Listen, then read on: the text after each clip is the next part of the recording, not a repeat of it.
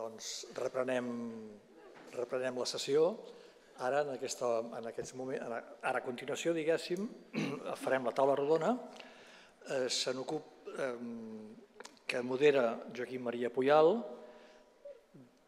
Aquí, en aquest cas, sí que és potser encara, no sé com dir, si més no des del punt de vista mediàtic, me, més ociós presentar-lo, però sí que diré que és membre de l'Institut d'Estudis Catalans, entre altres coses, a part de la seva trajectòria coneguda com a,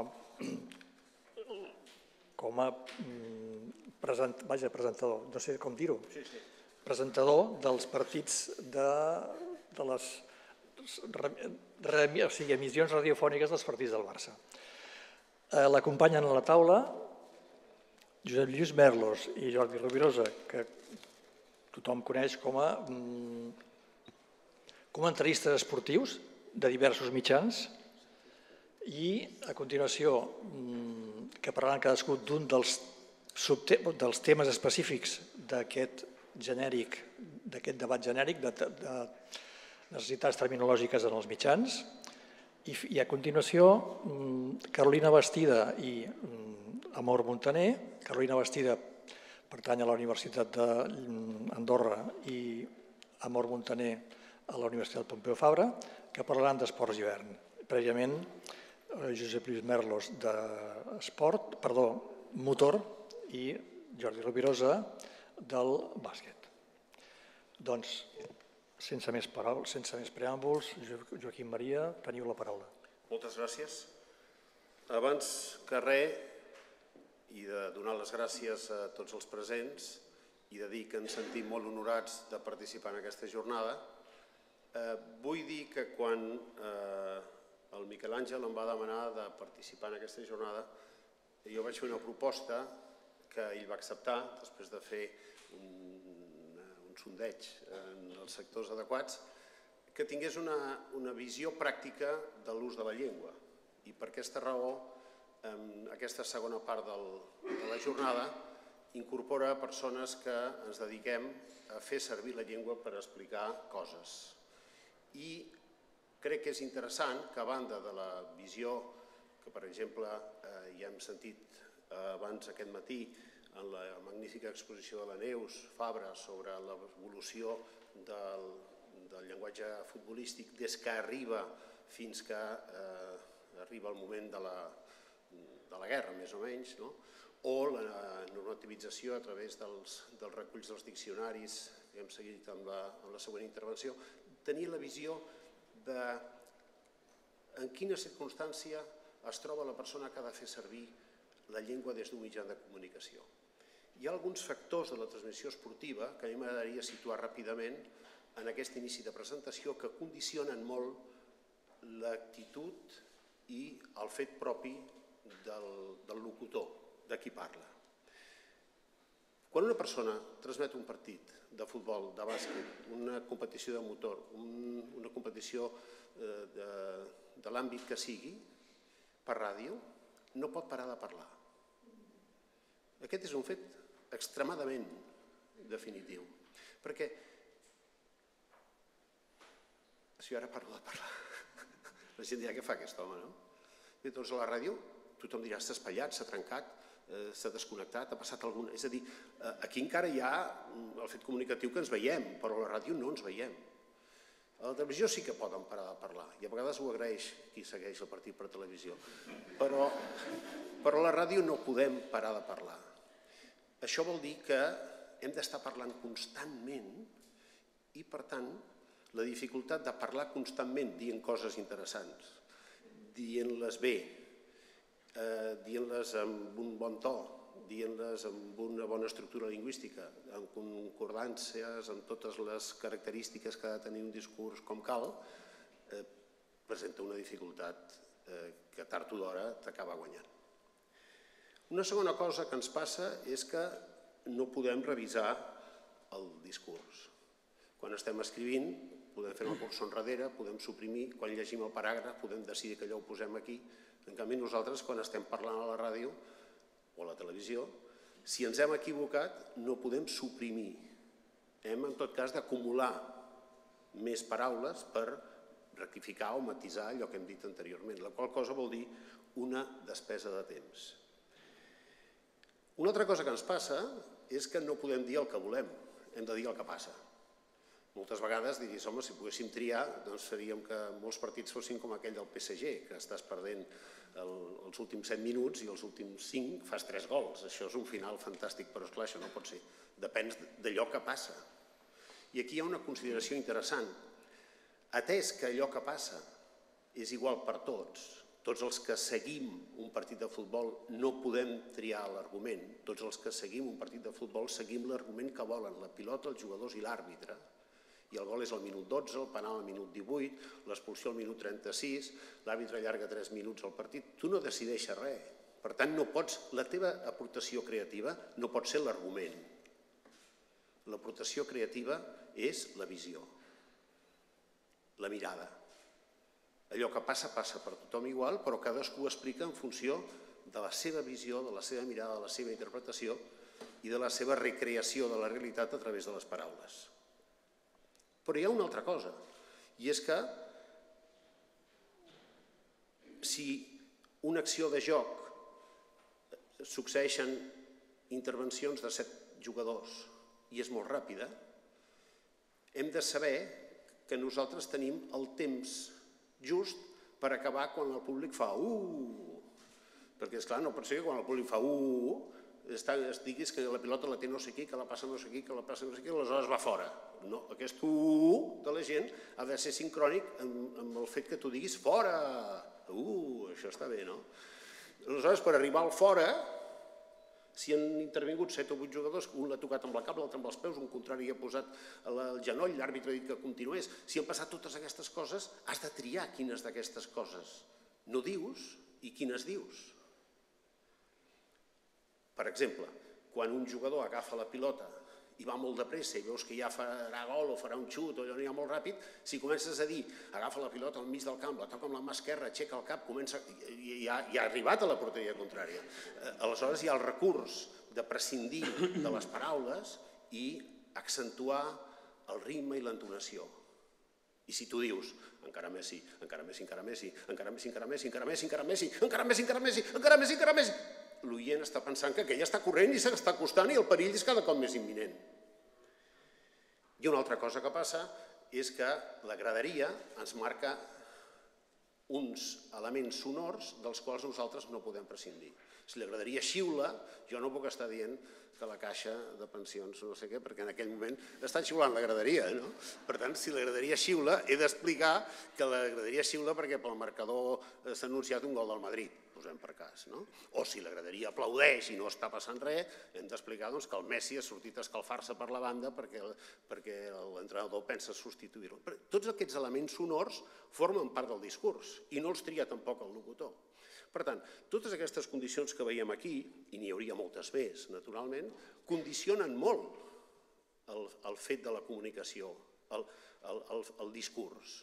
El condicionen perquè, a més a més, òbviament, vols donar detalls tècnics, vols, donar, eh, vols fer comentaris, vols recordar fets històrics associats a allò que ha passat, eh, l'equip vol donar més informacions, és a dir, tenim una mica el problema de la uera. Eh? En 60 segons hi caben un nombre determinat de paraules i no més. I per, per aquí doncs, tenim la dotzena d'ous i un cop hem posat la dotzena d'ous ja no ens n'hi caben més. Per tant, hem de triar sistemàticament. Això vol dir que si no tenim molt esmolada l'eina de la llengua, si no tenim molt, molt, molt interioritzat un llenguatge que sigui útil, que sigui... Aquest matí la Neus comentava, les paraules que són curtes eh, són molt, molt bones de, de fer o de dir, oi Neus? Kick, off, gol, aquestes són molt bones de dir. Eh? En canvi, una estructura llarga, eh? eh per exemple, el fora de joc és més llarg que flèquic. Això és una evidència. Per tant, moltes vegades una paraula curta et serveix perquè és més econòmica, més, més operativa, més funcional. En tot això vull explicar que els que ens trobem en la necessitat de parlar, tot això és una cotilla molt important. I per tant, moltes vegades dius, un dia vas dir, sí, un dia vaig dir això, sí, un dia sí, perquè no sempre pots eh, tenir la, la, el temps per polir el discurs, cosa que faria si fos un discurs escrit. Entrem eh, després d'aquesta presentació més aviat genèrica, eh, ja a la cosa més concreta associada a la terminologia futbolística que nosaltres vam proposar. Quan dic nosaltres, ho dic en plural perquè en Jordi Mir va ser eh, molt més important que jo a l'instant de fixar aquesta terminologia futbolística i també el professor Badia, que va traduir un treball que havia fet a la universitat sobre terminologia futbolística en castellà o en espanyol. I amb, aquests dos materi amb el material aquest, traduït del doctor Badia i a la feina del Jordi, jo vaig partir d'aquí per començar a fer les transmissions l'any 1976. Voldria recordar algunes coses molt ràpidament, mm, ja ha dit abans la Neus pràcticament tot això, però no estarà de més dir-ho, que el llenguatge de l'esport, que es va conformar al llarg del segle XX, ha mantingut i manté una constant evolució. De cap manera podem considerar, en cap moment que podem dir, tenim aquí una foto que ja ens serveix. Estem en una constant evolució. La, les solucions que hem acabat adoptant per formar una de les llengües més emergents i més dinàmiques i més transversal de la història de la comunicació, probablement de tots els llenguatges d'especialització i, a més a més, una llengua que és popular, que es generalitza tot el món. Aquest matí algú parlava de l'italià i de l'alemany. És extraordinari fer lingüística comparada i veure com els anglicismes es mantenen, no es mantenen, com evolucionen aquí, allà, com es fan servir, com algunes llengües han, han mirat de traduir-ho absolutament tot, com ha fet l'espanyol, per exemple, que no n'ha deixat una, el baloncesto, el balonmano, el balonvolea, el, van intentar el balonpié també, el Betis encara se'n diu, i en canvi d'altres com la nostra que no han tingut cap problema i que n'han dit voleibol i basquetbol i futbol i handbol i tots els vols que vulgueu. No? Eh, aquell llenguatge popular, excepcional, eh, generalitzat a tot el món, quan els nostres besavis van començar a tenir eh, notícia d'aquestes pràctiques esportives, van rebre els primers conceptes en anglès, com ja s'ha dit aquest matí, per tant, necessàriament havien d'explicar les coses en anglès, i recórrer a paraules angleses, algunes de les quals, com ja s'ha explicat aquest matí, han evolucionat, d'altres les hem suprimides, en cada cas segons les circumstàncies, però hi ha un altre fet definitiu que condiciona el llenguatge eh, esportiu o la terminologia futbolística, concretament eh, quan nosaltres intentem a finals dels 60 fer una proposta, que és els 40 anys del franquisme. Perquè en 40 anys de franquisme no hi ha català als mitjans de comunicació i a més a més hi ha molt, molt, molt, molt, molt, molt de presència de la llengua espanyola a través de programes de gran audiència, com el Carrusel Deportivo de la cadena SER i d'altres programes de gran audiència. Per tant, quan nosaltres hi arribem al, al 68, ens trobem que hem d'anar a buscar els documents aquests de la premsa general, de la veu de Catalunya o del XUT o el que fos, que generalment ja tenen en aquell moment eh, 30 o, o 40 o 50 anys, i anar a buscar solucions de les que fa servir la graderia. Com ho diu la gent de la graderia? Perquè a la graderia la gent continuava naturalment parlant, parlant en català. El, la, la nostra idea en l'intent de marcar les línies generals del criteri que vam seguir eh, s'ha resumit en sis apartats, mirant d'establir sempre una proposta que fos útil i normativa, que serien les dues idees bàsiques útil per no fer que la gent hagi de treballar més del compte. El receptor de ràdio és gandul, el de televisió encara més. Eh, I fent així toca un altre botó i li surt una altra cadena. Per tant, no hauríem de posar les coses gens difícils. Hem de morosir el discurs de manera que sigui tan, tan digerible com sigui possible. Però, al mateix temps, no volem allunyar-nos d'un referent normatiu al qual, en tant que professionals de la llengua, hi estem obligats ha agrupat en sis apartats la tendència de les idees que vam aplicar en aquell moment. La primera, aprofitar les solucions tradicionals vigents. Hi havia una manera de parlar a la graderia, als camps de futbol, que no reflectien els mitjans, perquè no hi havia mitjans en català, però hi havia una manera de parlar. La gent a la graderia deia quin canyardo li ha fotut, quin cacau, quina gardela, quina fava, quina castanya, quin batzà, quina trompada. Això ho deia la gent a la graderia. No? Aquest matí la Neus parlava d'això com a llenguatge eh, més lleuger o més frívol, no, lúdic, això mateix. I després hi ha una manera més, se suposa que, que, que curosa o que tècnica, que era potser el que deien els diaris. No? Però la gent, doncs aquest se l'ha rifat, aquell defensa és un colador, quan ha tocat aquell de pilota me n'ha fet un misto, allò que, que, que la pilota com un ciri, la veu quadrada, fot-li una sotana, tot això era molt viu, tot això no ho deia cap diari, però la gent parlava d'aquesta manera i aprofitar aquesta tendència era bàsica. Es tractava de veure si prescindint dels anacronismes, perquè evidentment el referi havia quedat molt lluny, el refri encara vivia, eh, però els, nosaltres teníem una manera de, de, de capitalitzar allò que els afeccionats de manera habitual deien a les graderies de futbol. Una segona idea era valorar els usos lingüístics i revisar els automatismes. Eh, perquè, és clar, mm, revisàvem el sentit de dir una paret, una trena i una zigazaga són la mateixa cosa. Algú envia una pilota tova, encara que estigui perfectament inflada. A qualsevol entrenador se li ha de dir míster, encara que hagi nascut al costat de casa eh, a més de ser el fruit d'una planta herbàcia de les cucurbitàcies, un, un meló pot ser també una pilota que cau mm, a sobre i que no la pots pràcticament jugar. Eh, caldrà precisar que jugar colat no té res d'escatològic. En fi, mm, preguntes d'aquesta mena i veure eh, quin sentit podien tenir.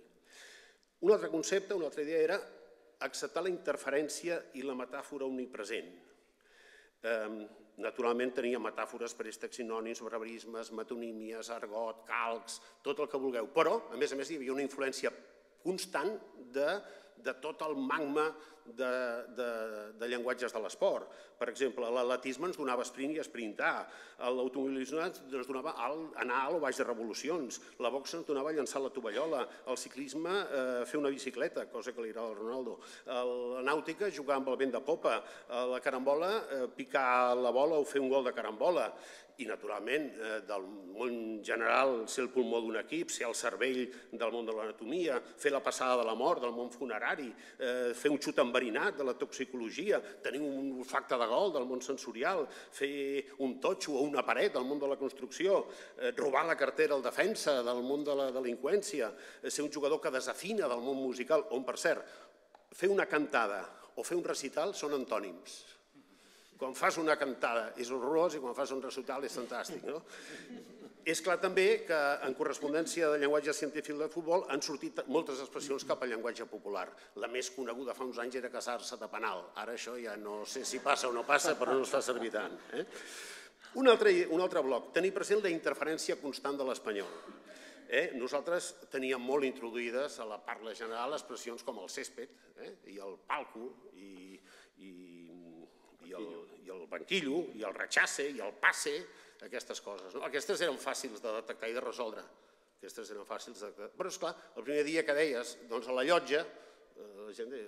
I aquí hi ha un punt que moltes vegades els, els que fem un ús professional de la llengua tenim una certa por de dir que no m'entendran. Eh? I, aquest és un punt molt, molt, molt cabró. Eh? Perquè si tu creus que allò és una solució, eh, jo crec que l'has de mantenir si creus que és una solució. És a dir, si creus que llotja o que gespa o que bústia són una solució, jo crec que val la pena mantenir-les. Um, I després, clar, hi havia solucions que més o menys te les havies d'inventar, perquè, clar, en castellà deien ha efectuado Evaristo un centro templado. I deien, un centro templado? Què deu ser això de templado? No? He de dir atemperat, he de dir tevi, he de dir un centre suau, eh? perquè s'entén què vol dir quan diu atemperat o s'entén quan, com, com, com hem de dir del cabe. Fes un cabe. El cabe era de trobar tot amb el cap, però clar, en català que hem de dir un, un ca, un, un cap, hi ha, hi, ha, hi, ha, hi ha algunes dificultats, no? Perquè, a més a més, com pot ser que en espanyol de dribble o dribbling eh, eh, siguin sortear i, i regate? I aleshores nosaltres del dribbling que hem de dir? La rifeta? Sí, esclar, això planteja preguntes que acabes dient, driblar està bé, driblar està bé. Um, si el balón salia lamiendo el poste, nosaltres hem de dir que el llapava. Sí, aquí, aquí hi ha qüestions d'estil, no? banqueta més que banquillo per descomptat, els micròfons no poden ser inalàmbrics, si no hi ha alambres no hi ha micròfons inalàmbrics, no? deuen ser autònoms. Eh? És a dir, reflexionar sobre, sobre, sobre l'estructura interna del llenguatge. No?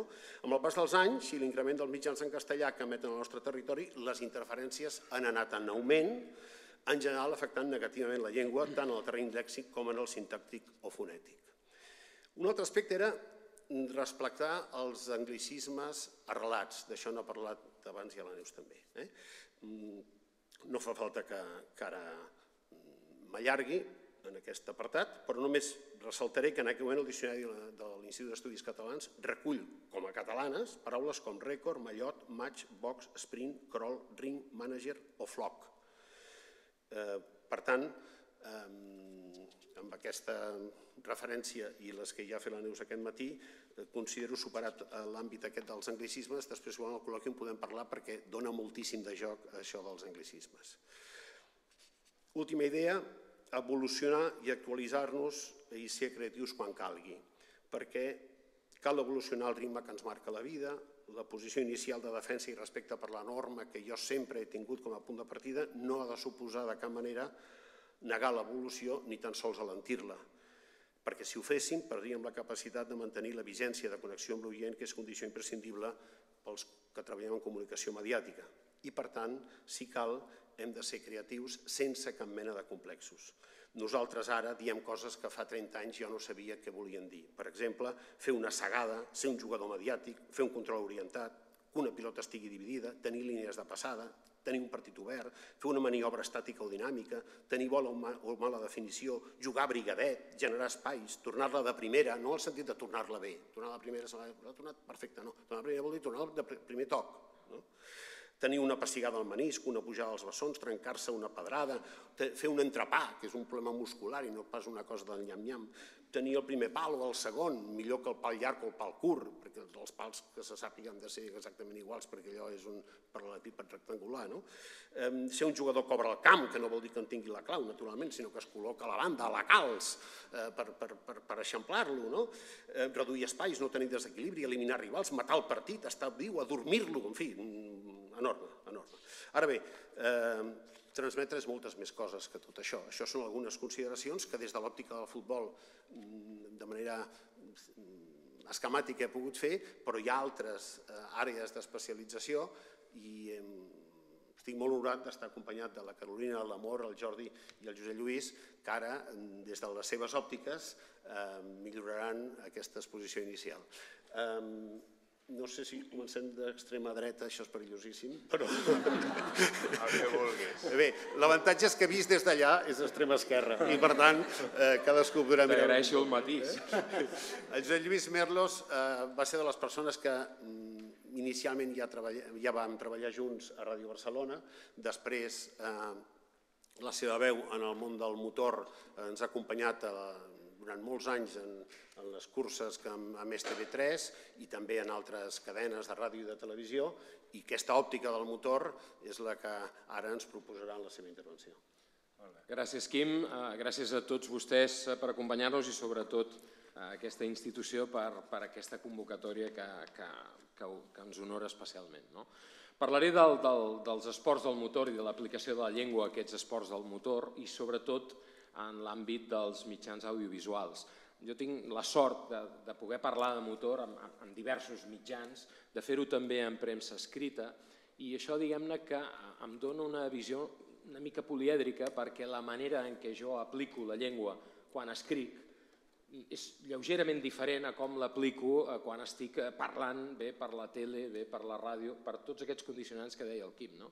Eh, fer un partit de futbol és complicat, per tots aquests condicionants, per la rapidesa amb què passa el joc, però jo que he tingut la sort de transmetre esports de, de, de molta mena, els que he fet més són els esports mecànics, però també n'he fet d'altres especialitats, els he de dir que narrar una competició del motor té complicacions afegides, d'entrada per la velocitat en la que passa tot, no? d'això es tracta justament, les curses és de, de, de veure qui corre més no? per arribar al primer, i per exemple un camp de futbol eh, és un escenari que medeix 120 metres per 70 i escaig, un circuit de Fórmula 1 pot arribar a medir 7 quilòmetres i els protagonistes allà eh, van a 300 per hora i no porten una samarreta a l'esquena amb el número i el, i, el, i el nom, sinó que els has d'identificar amb tota una sèrie de mecanismes que fan més feixuga i més complicada aquesta feina. Per contrapartida aquí no tenim la capacitat d'interpretació de què passa o què pensa la graderia, senzillament perquè no els escoltem,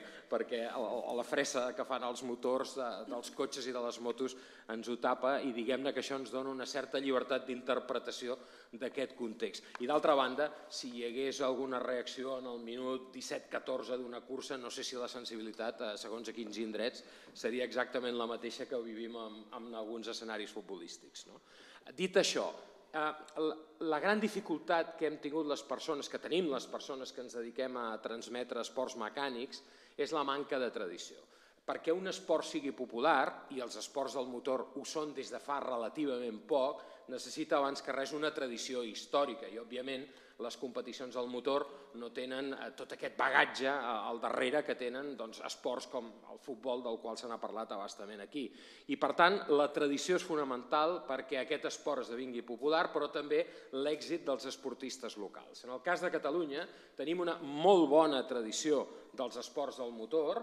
Les primeres competicions van començar a per la zona de Vilafranca, després van continuar per la zona del Garraf, allà va ser on realment hi va haver les primeres competicions, es feien en línia, a carreteres obertes, i d'això crec que el Pompeu en algun, en algun moment en fa esment en algun text que he tingut oportunitat de veure. De cotxes. De cotxes, correcte. I, i de motos també. La primera gran competició de motos va ser la Volta a Catalunya, que era una competició lineal amb, amb carreteres obertes. I la primera gran competició de cotxes que hi va haver a Barcelona va ser una cursa que es va fer al passeig de Sant Joan, que era una cursa d'un quilòmetre llançat i que tenia un magnífic premi pel guanyador, que era un dinar per dues persones al restaurant La Punyalada. Em permeto dir que en, em permeto dir que en aquesta època la vitalitat de la societat catalana i la l'amor per l'esport era tan potent que la Volta Ciclista a Catalunya és anterior a la Volta Ciclista a Espanya sí, i, i anterior al, Giro, al, al Tour de França, I tant, i tant. Com, com una idea. No? Hi ha unes cròniques de Josep Maria Planes que són una absoluta meravella.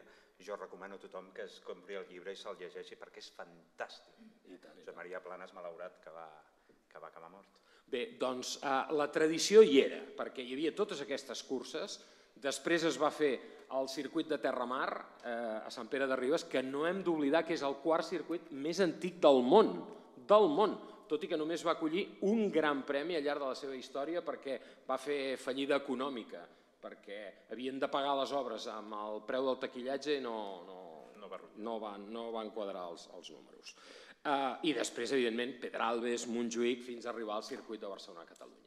I en quant a la, al, als resultats dels esportistes locals, aquí és on falla la cosa.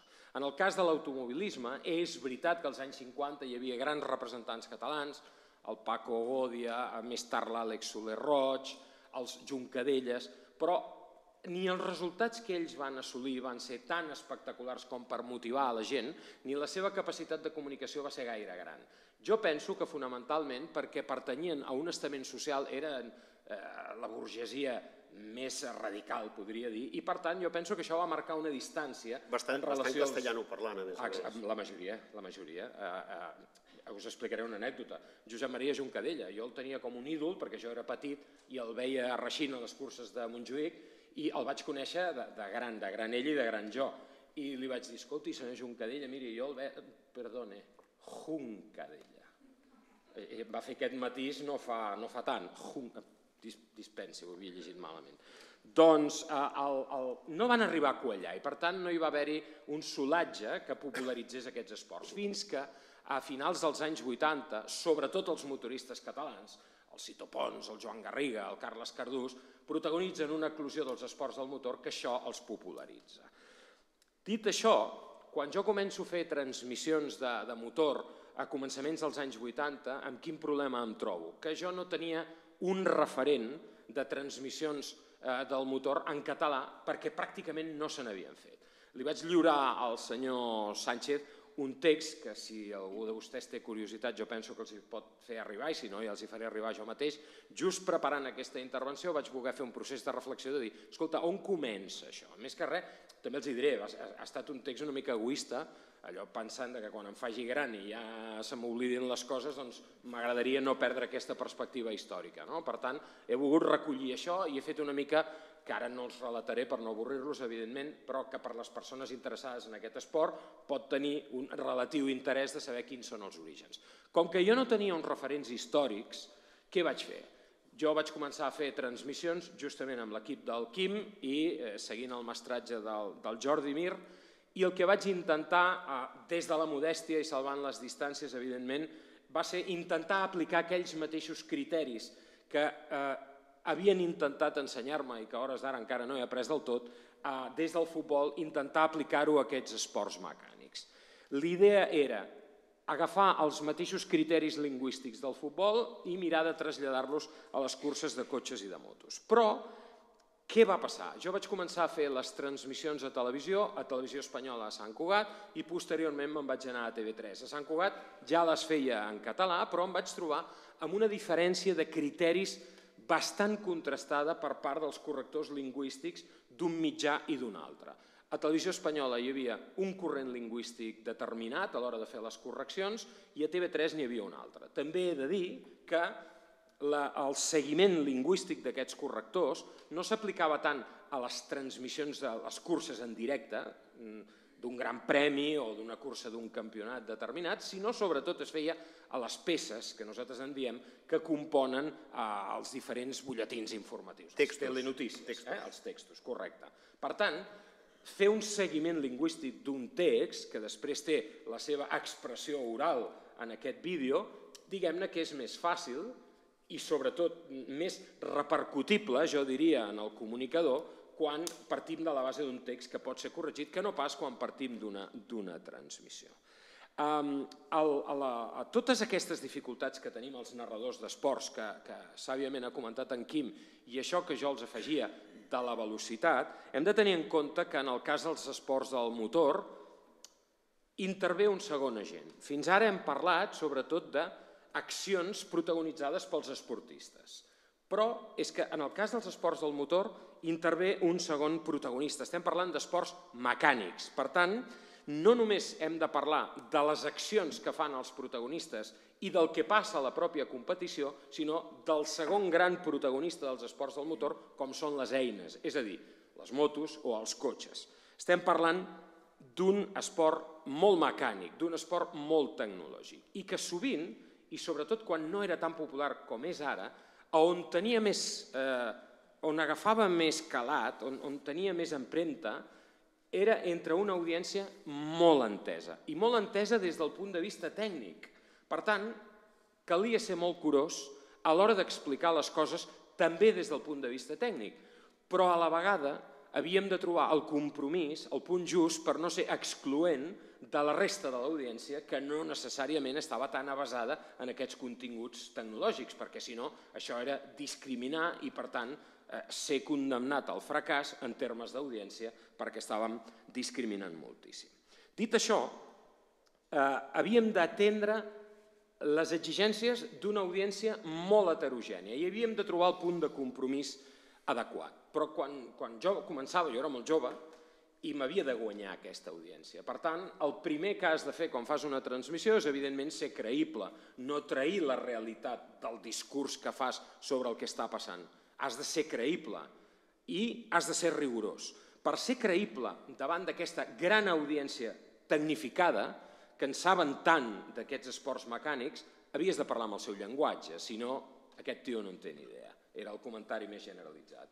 I quan tu ets jove, et vols guanyar a l'audiència. I com ho fas? Seguint-los el joc i deixant potser eh, el rigor a l'hora d'utilitzar la llengua en un segon terme per imposar els continguts tecnològics als continguts lingüístics. M'havia de fer creïble, m'havia de posar la gent a la butxaca i, per tant, havia de si no explicar que d'allò en sabia, fer veure que d'allò en sabia. I per fer-ho veure havia d'utilitzar aquest llenguatge més tecnològic. Però a la vegada també sent respectuós amb, amb, amb aquesta audiència i sent al màxim de curós amb la llengua. I aquest llenguatge ha anat evolucionant. Jo he intentat ser didàctic i ser formatiu dins de la modèstia. Jo no sóc enginyer, tinc uns determinats coneixements tècnics, però no sóc enginyer. Però he intentat fer una certa didàctica amb les meves transmissions. I amb el pas dels anys i amb el guany, diguem-ne, d'una teòrica solvència professional, el que he fet és anar deixant de banda totes aquelles eines que et feien guanyar aquesta credibilitat des del punt de vista tecnològic. I com ho he fet, això? Doncs oblidant els anglicismes, intentant anar-los substituint o compatibilitzant-los amb interpretacions pròpies amb la meva llengua, en aquest cas amb el català. Eh, a mesura que m'he anat fent gran i que he tingut més experiència, he anat prescindint més dels anglicismes fins a un punt, perquè no pots renunciar totalment, perquè si no hi ha conceptes que la gent no entén i que nosaltres no sabem explicar tampoc. Jo, per exemple, m'he permès passar de dir sempre la pole position i qui diu jo, el meu company Francesc Latorre, que, que, que hem treballat plegats a TV3 molts anys i que també és una persona que ha fet un llarguíssim procés de reflexió, com el Jordi, amb el que durant més de 25 anys n'hem parlat pràcticament a diari, de, escolta, com ho diries això? Què et sembla, sí? Doncs eh, hem, hem passat de dir la pole position a dir la posició preferent, o el pilot que surt des de més davant de tots, més endavant de tots. Però clar, això té un risc. Com deia el Quim, posició preferent és molt llarg, mentre que dir que surt des de la pole és un estalvi de llenguatge, de temps, que a l'hora d'aplicar un ritme, i les curses de motor han de tenir sobretot ritme i velocitat, t'ajuda molt més. I en aquest sentit, l'anglès és molt temptador.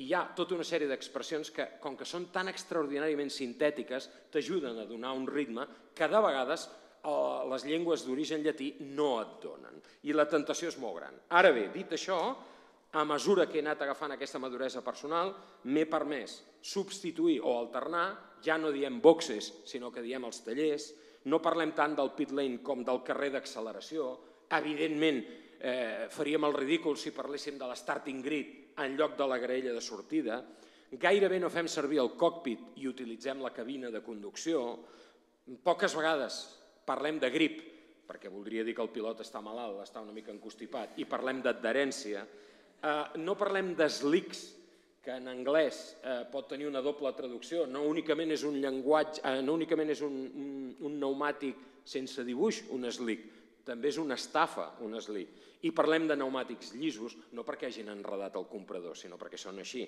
No parlem ja de downforce, sinó que parlem de sustentació aerodinàmica i tants i tants altres.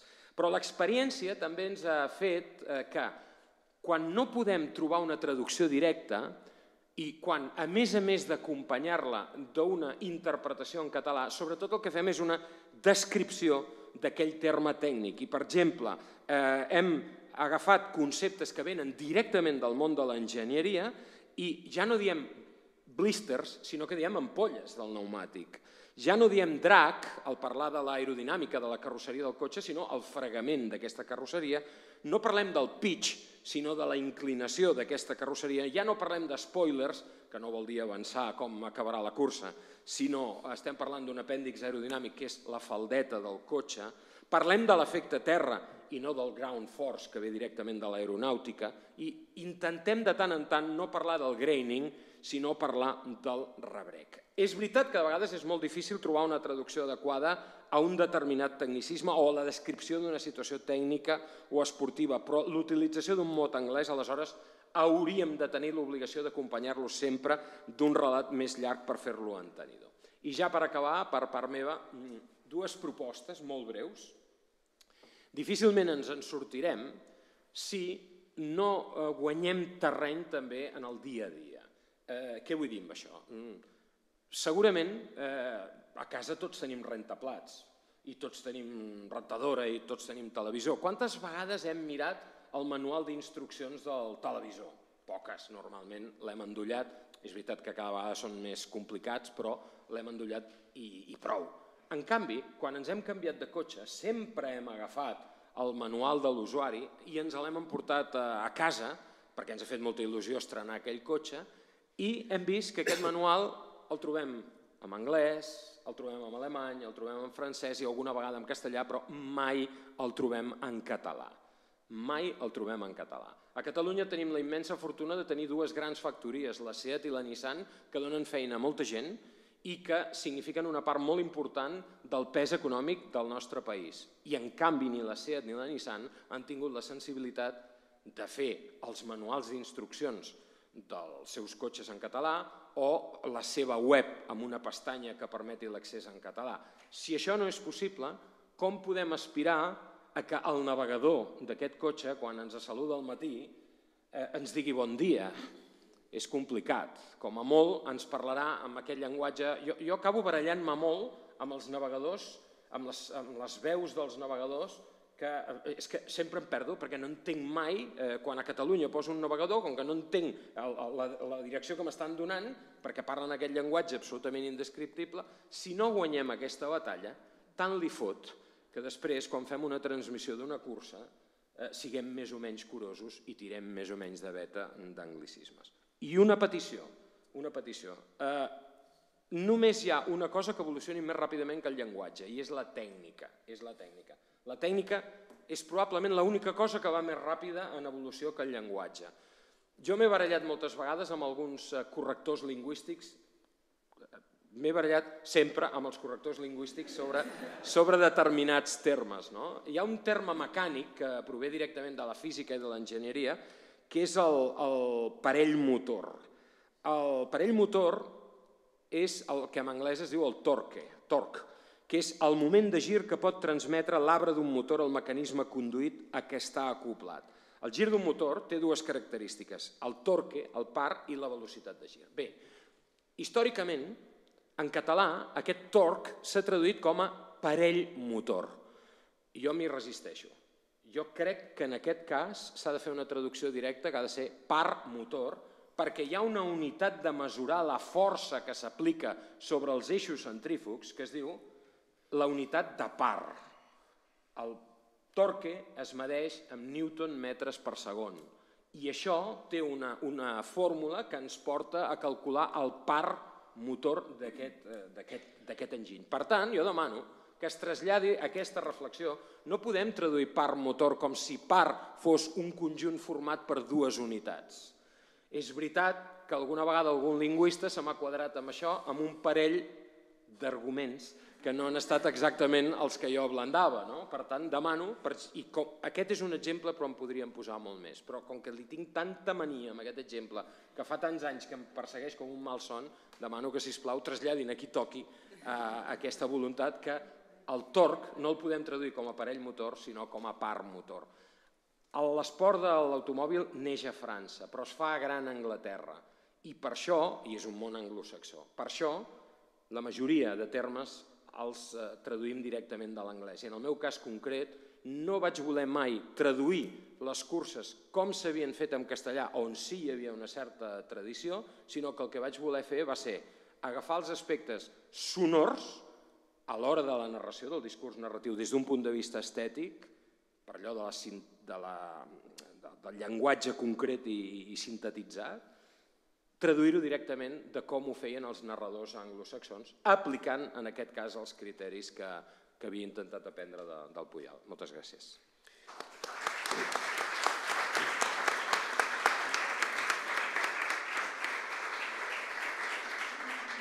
L'experiència d'anys i la manera de fer i la personalitat a la feina el, i el to de veu i l'amor per la llengua fan que Jordi Rovirosa sigui una figura ideal per parlar de bàsquet. Molt bé, moltes gràcies, Joaquim.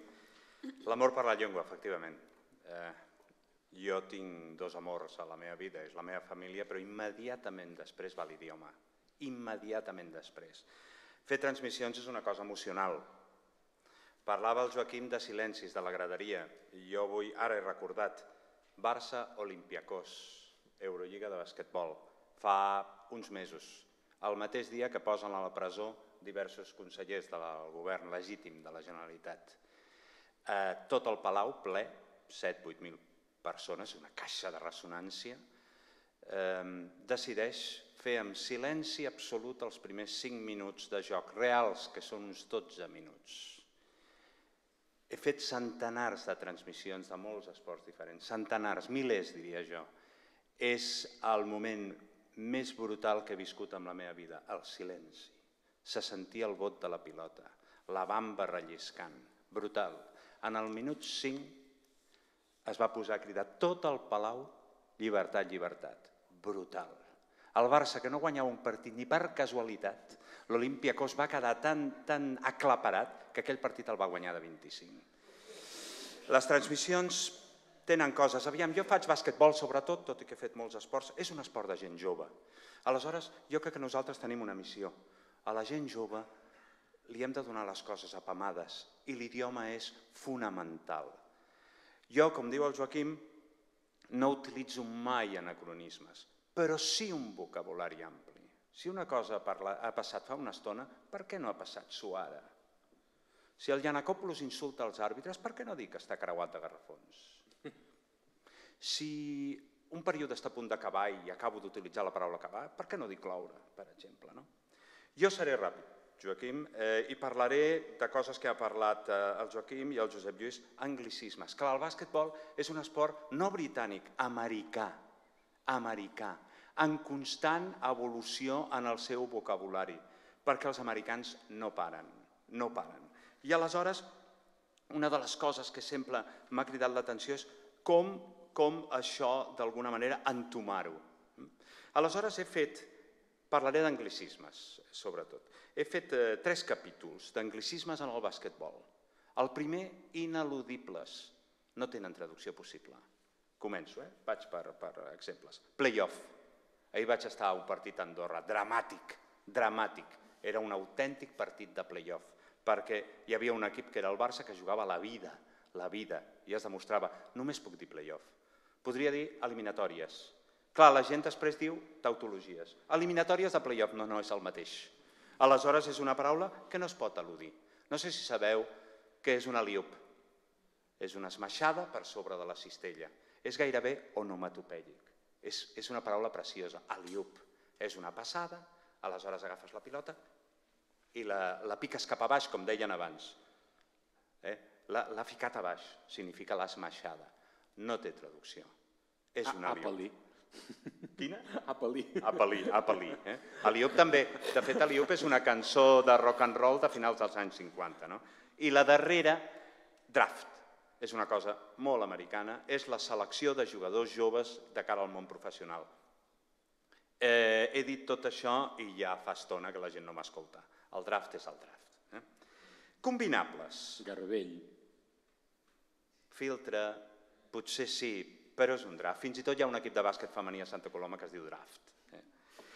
Paraules combinables. Rookie. M'encanta la paraula rookie. Però és evident que a vegades pots dir rookie. Jo tots els becaris de la tele els dic rookies. Els fa molta gràcia, amb carinyo. No? Un rookie és un debutant. Però clar, la paraula debutant és debutar un partit. Rookies és tota la temporada. Tota la temporada. Jo utilitzo a vegades, i em fa gràcia utilitzar-la, la paraula jovincel, que és verdegariana. És, evidentment, una exageració. Però encara, quan els jugadors, clar, fa 30 anys que faig transmissions de bàsquet, més de 30, a vegades em venen jugadors eh, retirats que em truquen per telèfon, eh, sóc el Jovincel, i ja s'ha retirat fa anys. No?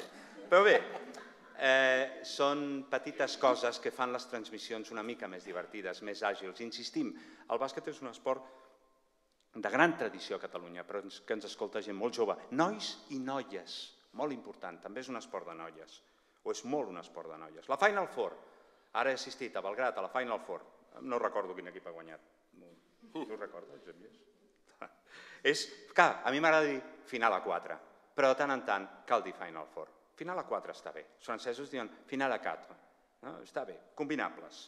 Més, pick and roll, una jugada bàsica en el bàsquet. El pick and roll és bloqueig i continuació de la jugada. Però a mi m'agrada dir bloqueig i continuació.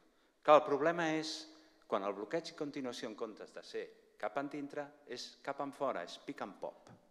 Aleshores, clar, si he de dir bloqueig i continuació cap en fora del jugador, ja m'he perdut. Ja m'he perdut. Tot i això, la paraula pick and roll, que és una jugada difícil d'entendre, eh, jo sempre intento eh, fer-ho combinable. Eh? Per cert, rugby, rugby.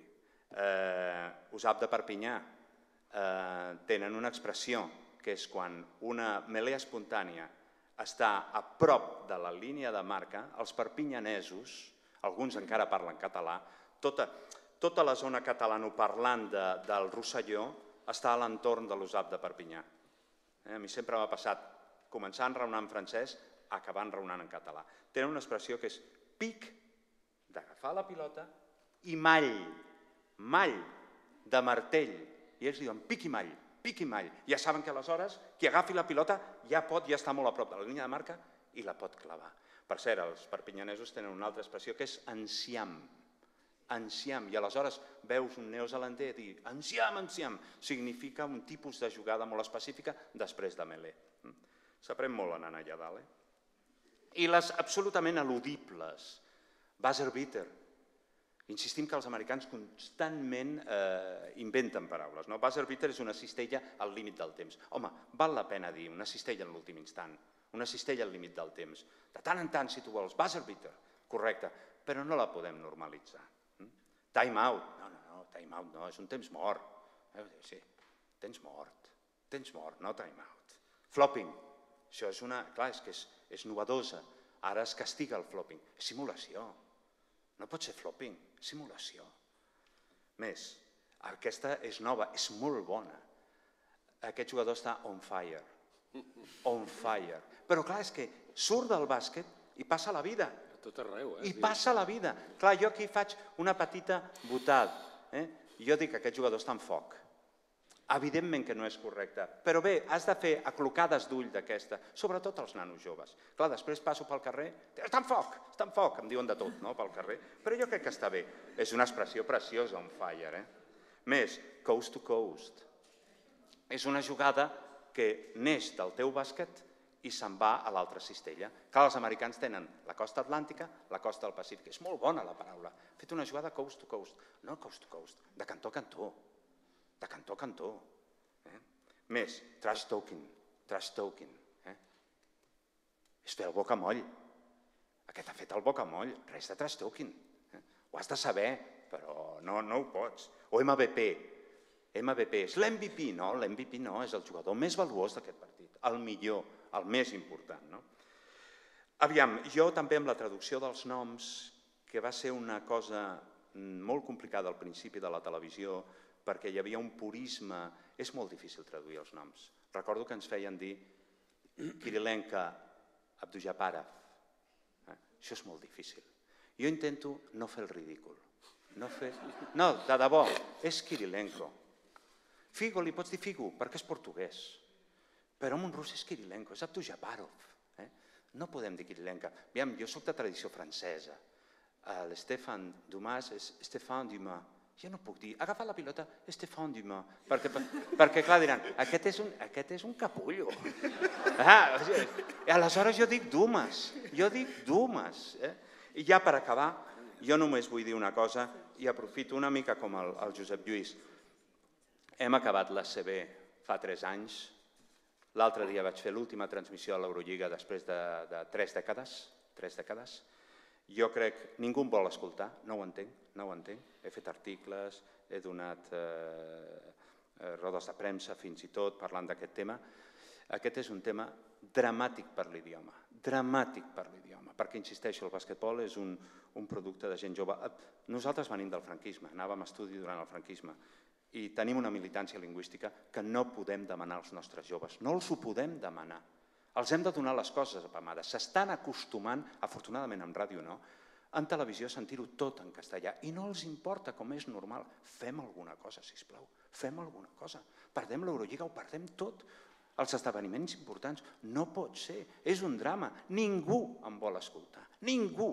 Ni de la Generalitat, ni de la televisió, ningú. I això simplement no pot ser. Jo des d'aquí, si em permet el Joaquim, faig aquest, aquest crit d'alerta. Gràcies. I qui diu el bàsquet, qui diu el bàsquet, no oblideu que, que TV3 s'ha acomiadat enguany també de la Champions, eh, no tornarem a tenir Champions, eh, fes a saber fins quan. No, mai. Això no es recupera. Bueno, ja, ja. Això és com la forma física. Mai, Ja mai no diguis mai, però, però de moment pinta que ho tindrem molt lluny. Per tant, és una pèrdua que no ens podem, no ens podem permetre més enllà del preu que puguin tenir els drets perquè quan es fa una lliga de bàsquet com la que diu el Robi o quan es fa una Champions, no estem fent només la transmissió d'un gran esdeveniment esportiu, estem fent utilitzant una eina de transmissió de fixació lingüística molt important. En Jordi Rovirosa va publicar fa pocs dies a l'Ara un article parlant justament de la gravetat del fet que de Televisió de Catalunya perdi els drets sobre aquestes transmissions, que s'afegeixen a la pèrdua de drets dels partits de la Champions. Per això en remet a una altra àrea de temàtica que és la dels altaveus mediàtics que hi ha al nostre país, les concessions de les freqüències, els operadors, els industrials, que evidentment és la mà dels ous. Gràcies a les intervencions d'aquest cantó, si no parlem de si és la dreta o l'esquerra, i en aquest altre cantó tenim la col·laboració de Maria Mor Montaner de la Universitat Pompeu Fabra i de Carolina Bastida de la Universitat d'Andorra, que ens faran ara la, la part ajustada als esports d'hivern. Hauria d'aparèixer una pantalla aquí, no apareix. Bé, bon dia. Uh, en primer lloc, uh, moltes gràcies a l'Escater per haver-nos convidat a participar en aquesta jornada. Aquí, Ah, sí, millor, Sí. gràcies. Perquè si no... Moltes gràcies. No, al contrari. Sisplau. Quantes coses.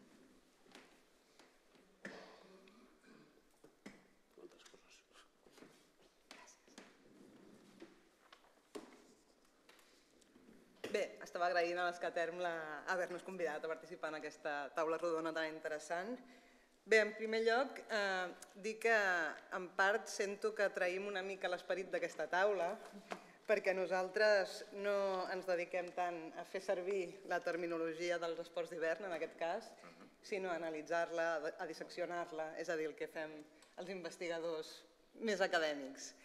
Uh, de tota manera, mm, el projecte de recerca que avui presentarem té una clara vocació pràctica, una clara vocació de ser d'utilitat tant a persones que es dediquen a fer servir la terminologia com també a persones que es dediquen a la política lingüística. Esperem que es faci realitat aquesta vocació.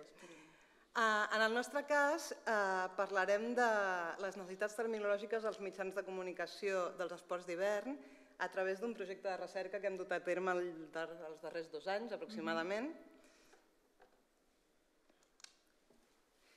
Bé, doncs les dades que presentem avui provenen d'un projecte de més abast en què hem analitzat la terminologia catalana dels esports d'hivern a Andorra i no només als mitjans de comunicació, sinó també en àmbits especialitzats, com ara el discurs que es produeix des de federacions esportives, des d'estacions d'esquí, escoles d'esquí i, per exemple, també comerços de material de d'esports d'hivern, mm, que és un, són uns esports també on el material té un pes terminològic molt important, com es comentava en el cas de, del motor.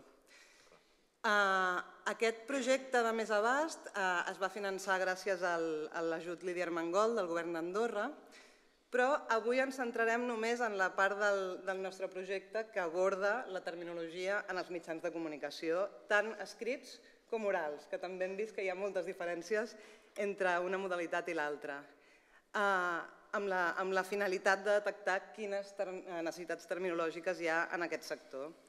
Per fer-ho, el que hem fet ha estat avaluar la implantació de terminologia catalana en aquest àmbit, és a dir, fer el seguiment de l'ús dels termes que proposen els organismes competents, que ja veurem quins són, i d'altra banda també hem avaluat la vitalitat lingüística eh, en aquest àmbit dels esports d'hivern a partir dels termes neològics que, que han aparegut a, a les dades que hem pogut recollir.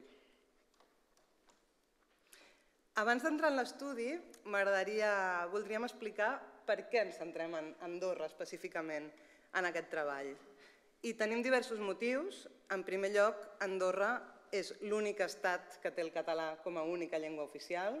Això fa que tota la difusió, tant oral com escrita, bé, pràcticament tota la difusió es faci en llengua catalana. Un aspecte que no havíem tingut en compte i que també és molt interessant, que ha comentat l'Ester Bonet, és la capacitat de crear reglaments, tenim la competència. Eh, en segon lloc, és un territori amb una esfera comunicativa pròpia, on els esports d'hivern tenen un paper central. Com sabeu, aquests esports a Andorra són importantíssims tant per l'economia com per la societat i per tant tenen moltíssima difusió als mitjans. I en tercer lloc, com que és un, un país de dimensions reduïdes, és relativament fàcil obtenir dades representatives d'usos lingüístics d'un àmbit concret o d'un moment concret. I a part d'això, pensem que la, els resultats obtinguts en el nostre estudi són extrapolables també a mitjans de comunicació en català de la resta del territori catalanoparlant, que no es redueixen només el que passa a Andorra. Bé, els estudis anteriors al nostre, que tracten el tema de manera més o menys central o tangencial, mostren que els esports d'hivern són un dels àmbits que generen més paraules noves en el català d'Andorra i, per tant, també més terminologia. Són unes modalitats esportives que estan en evolució constant, tot i que això passa en tots els esports, com hem comentat tots, i que són cada cop més populars, cada cop guanyen més adeptes aquests esports d'hivern. I, per tant, hi ha unes necessitats denominatives reals que van apareixent constantment. Però, en canvi, les obres de referència de què disposem no estan actualitzades i, per tant, no reflecteixen, com a mínim, una part de la realitat actual d'aquests esports. Per això vam emprendre eh, aquest estudi terminològic i per recollir dades el que vam fer va ser constituir un corpus de premsa escrita i oral. També ha sortit a totes les intervencions les repercussions que té eh, la, el comunicar oralment o per escrit. No? Uh, pel que fa a la, a la premsa escrita, vam recollir la, la terminologia que apareix tant a seccions esportives de premsa generalista com també a l'única revista especialitzada en esports que existeix a Andorra. I pel que fa als mitjans de comunicació oral, vam recollir terminologia de programes de ràdio i també de, televi de televisió de, especialitzats en esports d'hivern i també retransmissions de competicions esportives de diversos esports, com ara l'esquí de muntanya, surf de neu, etc. En aquest estudi hem distingit entre termes oficials i termes neològics. Els termes oficials, és l'etiqueta que els hem posat, quins són? Doncs són els que apareixen a les fonts de referència. I en el nostre cas, quines fonts de referència són? Pel que fa als termes normatius, és el DIEC 2, pel que fa als termes normalitzats, la Neoloteca del Termcat, i després diversos diccionaris i terminologies eh, especialitzats en esports o directament en esports d'hivern publicats pel Termcat i pel Servei de Política Lingüística d'Andorra. I aquests termes oficials ens serveixen, l'anàlisi d'aquests termes oficials ens serveix per conèixer la implantació de la terminologia catalana en, en aquest àmbit. I d'altra banda, eh, vam, vam analitzar també els termes neològics, que són simplement els que no apareixen en diccionaris generals ni en diccionaris especialitzats per avaluar la vitalitat lingüística del català en aquest, en aquest àmbit concret. I passo la paraula a l'Amor, que us explicarà els resultats d'aquest estudi que vam fer. Bé, d'una banda, pel que fa als, als termes oficials, el que vam fer és analitzar la implantació. La implantació en, en el sentit de l'ús que se'n fa tant en els mitjans orals com en els mitjans escrits. Per això el que vam fer és agrupar totes les denominacions que fan referència a un concepte en el que anomenem casos. Sí, en la pantalla teniu el cas del surf de neu. Què hem trobat? En els textos de premsa hem trobat que es fa servir tant surf de neu, que és el terme oficial, com la variant surf, reduïda, si abans parlàvem del com en resulta de fàcil que els termes siguin com més curts millor, més funcionals, més ràpids. Després tenim el Manlleu, sí, veureu que el Manlleu i l'anglès plane mm, absolutament per, per aquest àmbit dels esports d'hivern i també la variant més reduïda, Snow. A partir d'això veiem quantes unitats, quantes ocurrències té cadascun d'aquests termes en el corpus i els posem en relació amb els seus concurrents, sí? és a dir, amb aquests altres termes que s'utilitzen per fer referència al surf de neu. I amb això obtenim un, un coeficient que anomenem coeficient d'implantació. Sí, aquí teniu dos exemples. Per exemple, si surf de neu eh, surt en, els, en el corpus 62 vegades, ho dividim per les 138 vegades que apareixen tots els termes que fan referència a aquest concepte i tenim sí, aquest coeficient d'implantació. Això perquè ens serveix per veure quin terme s'utilitza més que un altre. Després establim uns barems per tindre un punt de referència. Sí? Llavors parlem de graus d'implantació, graus d'ús, sí? podríem dir alt, mitjà i baix. I amb això podem fer una anàlisi de quina és la situació, quin és l'ús de la terminologia sempre oficial, sí? la, que és la que documentem, en les obres especialitzades. Primer, en els mitjans escrits. Sí, aquí teniu els resultats globals. Doncs bé, en general podem dir mm, l'avaluació és positiva, sí, perquè la majoria dels termes, més d'un 60%, tenen un grau alt d'implantació. Això vol dir que s'utilitza el terme oficial per damunt d'altres termes alternatius que no són oficials. Però fixem-nos també que hi ha un 26% dels termes que obtenen un grau baix. Això vol dir que, per exemple, cross o eslàlom gegant pràcticament no s'utilitzen en el corpus de premsa, sinó que s'utilitzen altres alternatives que ara veurem. La situació de, dels mitjans orals és molt similar. Sí, en general eh, obtenen un grau alt, aquest al voltant del, del 60%, però fixeu-vos que aquí els que pràcticament no s'utilitzen, mm, si puja el percentatge ja és gairebé un, és més d'un 30%. Més 30%. Sí? Per tant, mm, estem en el bon camí, però encara tenim molta, molta feina per fer. Ara us ensenyaré alguns, Alguns exemples. Si en els mitjans orals, cross és una modalitat del surf de neu, doncs bé, mm, encara que cross és el terme oficial i és curtet, mm, paradoxalment es fa servir sobretot el Manlleu, border cross. Sí, suposo que per allò que deien abans de necessitem que ens entenguin, potser si diem cross no ens entenen i si diem border cross sí, no ho sé. Sí? Nosaltres, com que fem l'anàlisi des de fora, és, és una de les preguntes que, que, hauríem, que hauríem de fer. I també s'utilitza molt la sigla. La sigla sí que, que es cursa, però fixeu-vos que és una sigla en anglès, anglesa, vaja, manllevada, molt curiosa, perquè aquest cross és una X directament. Sí? És una sigla molt creativa.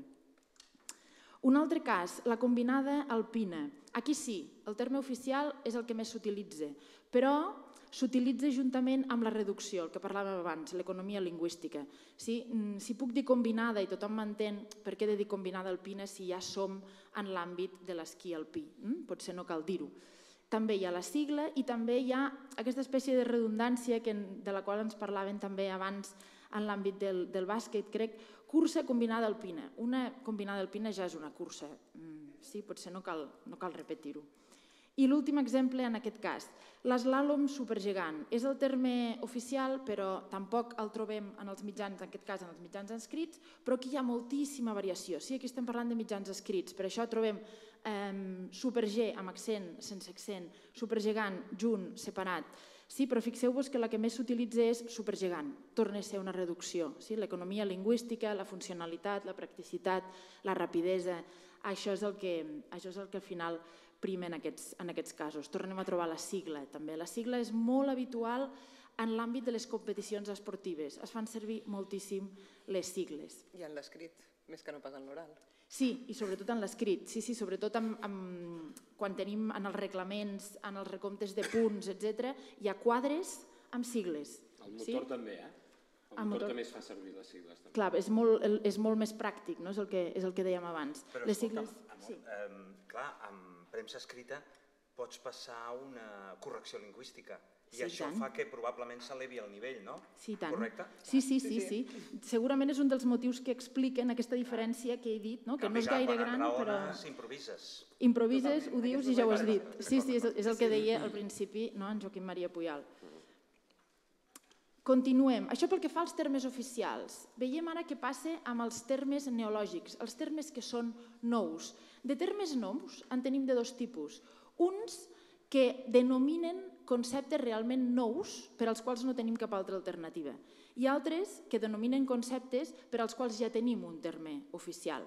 Sí, però el que ens interessa aquí veure és com han estat formats. Nosaltres els, els hem dividit en dos grups, aquells que estan formats per mecanismes propis de la llengua catalana, abans la Neus Faura ens deia que el català era molt creatiu en l'àmbit del futbol, també ho és en l'àmbit dels esports d'hivern. Sí, veiem que la majoria dels termes nous que hem detectat en el nostre corpus estan formats per mecanismes propis, derivació, composició, encara que els més freqüents són la sintagmació, que potser és el que ofereix més transparència semàntica, i la resemantització o canvi de significat, que també és molt, molt habitual.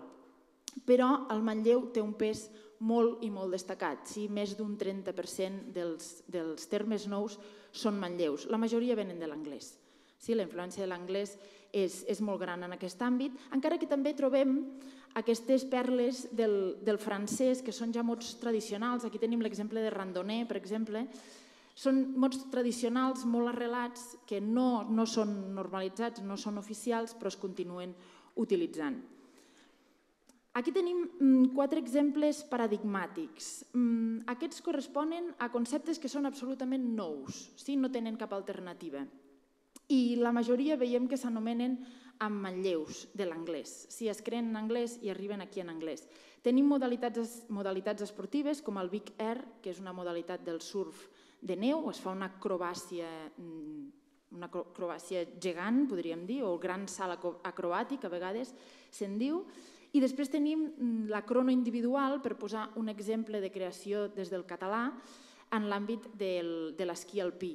També tenim el motor sobre gel. Hi ha molt motor sobre gel. I amb aquestes terminologies també, eh? Sí, sí, surt. El que passa és que potser no és tan popular com a esport i llavors trobem molt pocs articles de motor sobre gel, però de fet no hi ha terminologia oficial sobre el motor sobre gel. Que bé que no hi ha bàsquet sobre gel. Estic encantat, eh? És a dir, que he de dir que hi ha un backflip. Si agaféssiu articles de motocross, per exemple, hi ha una modalitat que és el freestyle i tota la terminologia ve directament dels esports de neu. Clar, del freestyle, del el surf... backflip, el knack-knack, el can-can, el, el, el bicker...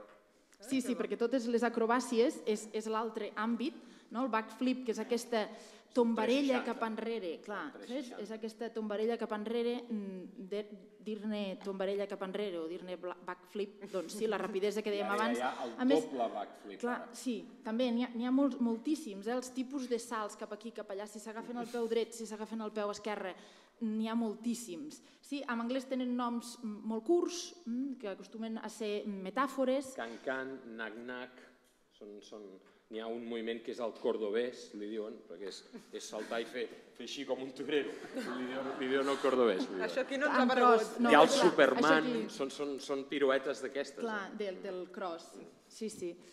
I això, doncs, els, aquestes, aquests tipus d'acrobàcies o el jibbing, per exemple, que és lliscar sobre una, sobre una barana o sobre, sobre un calaix, Mm, clar, n'hi ha moltíssims. Cada any en surten de nous. No? Abans, amb els esports olímpics, ens deia cada quatre anys canviem no? el tipus de d'esports que hi ha, competicions, puntuacions, doncs amb surf de neu, sobretot, passa això, no? que per innovar, per ser creatius, fan salts i acrobàcies molt diferents i per tant han de tenir un nom perquè després les reproduiran altres esportistes pos- posteriorment. I aquí ja, ja veieu que el Manlleu és el més, és el més mm, habitual. Per això, mm, ja per acabar, mm, després d'haver vist una mica aquest panorama general, quines necessitats hem detectat nosaltres a partir d'aquesta anàlisi que hem fet sempre com des de fora? Sí? Ells ens han parlat des de dins, nosaltres parlem una mica des de fora. Què hem vist? Que potser cal més difusió de la terminologia oficial, Sí, després els preguntarem si la coneixen, si no la coneixen, si els arriben aquests diccionaris, si no els arriben. Mm, I potser campanyes específiques en mitjans de comunicació. Ja n'hi ha, sí? des de l'IEC es fa, des del Termcat es fa, però potser en cal una mica més. I després, actualitzar la terminologia oficial si veiem que hi ha un terme que no s'utilitza, que els mm, periodistes en aquest cas no l'utilitzen i veuen que no el poden utilitzar, sigui perquè fan el ridícul, com ens deien abans, sigui perquè veuen que ningú no els entendrà perquè la terminologia popular és una altra, doncs potser cal replantejar-nos-ho. I després una actualització en un altre sentit, en el sentit de completar. Sí? Si tenim l'eslàlom supergegant, però en els textos només hi ha el gegant, o el supergegant, perdó, doncs posem-lo com a sinònim, el supergegant, que és el que s'utilitza. Potser seria un bon, un bon complement. O les sigles, que s'utilitzen moltíssim. Sí, no, no us podeu arribar a imaginar el que ens va costar saber què volia dir cadascuna de les sigles, perquè a més són sigles que venen de l'anglès, va ser molt, molt complicat. Doncs bé, actualització en aquests dos sentits. I l'última, una de les més importants que també ja han comentat els companys, la creació de terminologia nova per cobrir buits denominatius. Mm? L'evolució de la tècnica potser és la més ràpida, mm, però en els esports també mm, evolucionen moltíssim i molt ràpidament i per tant cal que ens, que ens posem al dia en, en aquest sentit. I, I bé, fins aquí. Moltes gràcies.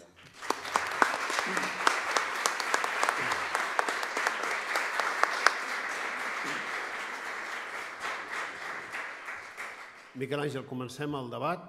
Eh, què, què hem de fer? Molt bé. Hi ha alguna intervenció? Sí, d'allà em sembla, oi? Sí, molt bé, gràcies. Moltes gràcies. Eh? No hi havia cap intervenció, com passa sempre.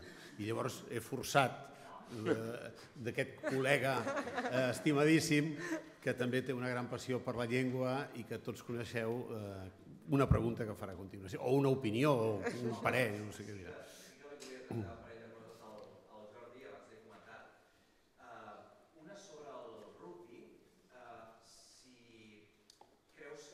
el fet que, el fet que molta, gràcies, que molta terminologia rugbística en català l'haguem heretat del francès, perquè durant molt de temps hem parlat dels arriers, de la touche, de la mêlée en lloc de l'escram, ve perquè nosaltres, eh, en aquest país, el rugby ens ve importat un senyor que el va prendre a França, que, que era el Valdrí Aleu. No sé si pot venir per aquí o, o com ho veus tu. I respecte al bàsquet, eh, clar, d'ençà de finals dels 80 i, i de la popularització de, de l'NBA, s'ha imposat una, un estil de comentari que va tenir molta anomenada, sobretot amb l'Andrés Montes a Canal Plus, molt més espectacular, més cridaner, eh, amb molta més afició posar sobrenoms als jugadors en què el comentarista acaba sent part de tot un espectacle. Aleshores, tu al llarg d'aquest temps, com has mirat d'adaptar-ho i sobretot com has mirat d'adaptar-ho amb, amb relació a l'ús lingüístic també? Molt bé. Un segon, voldria dir que és Jordi Sunyer, el qual llegiu habitualment en col·laboracions que fa el diari moltes vegades de caràcter lingüístic i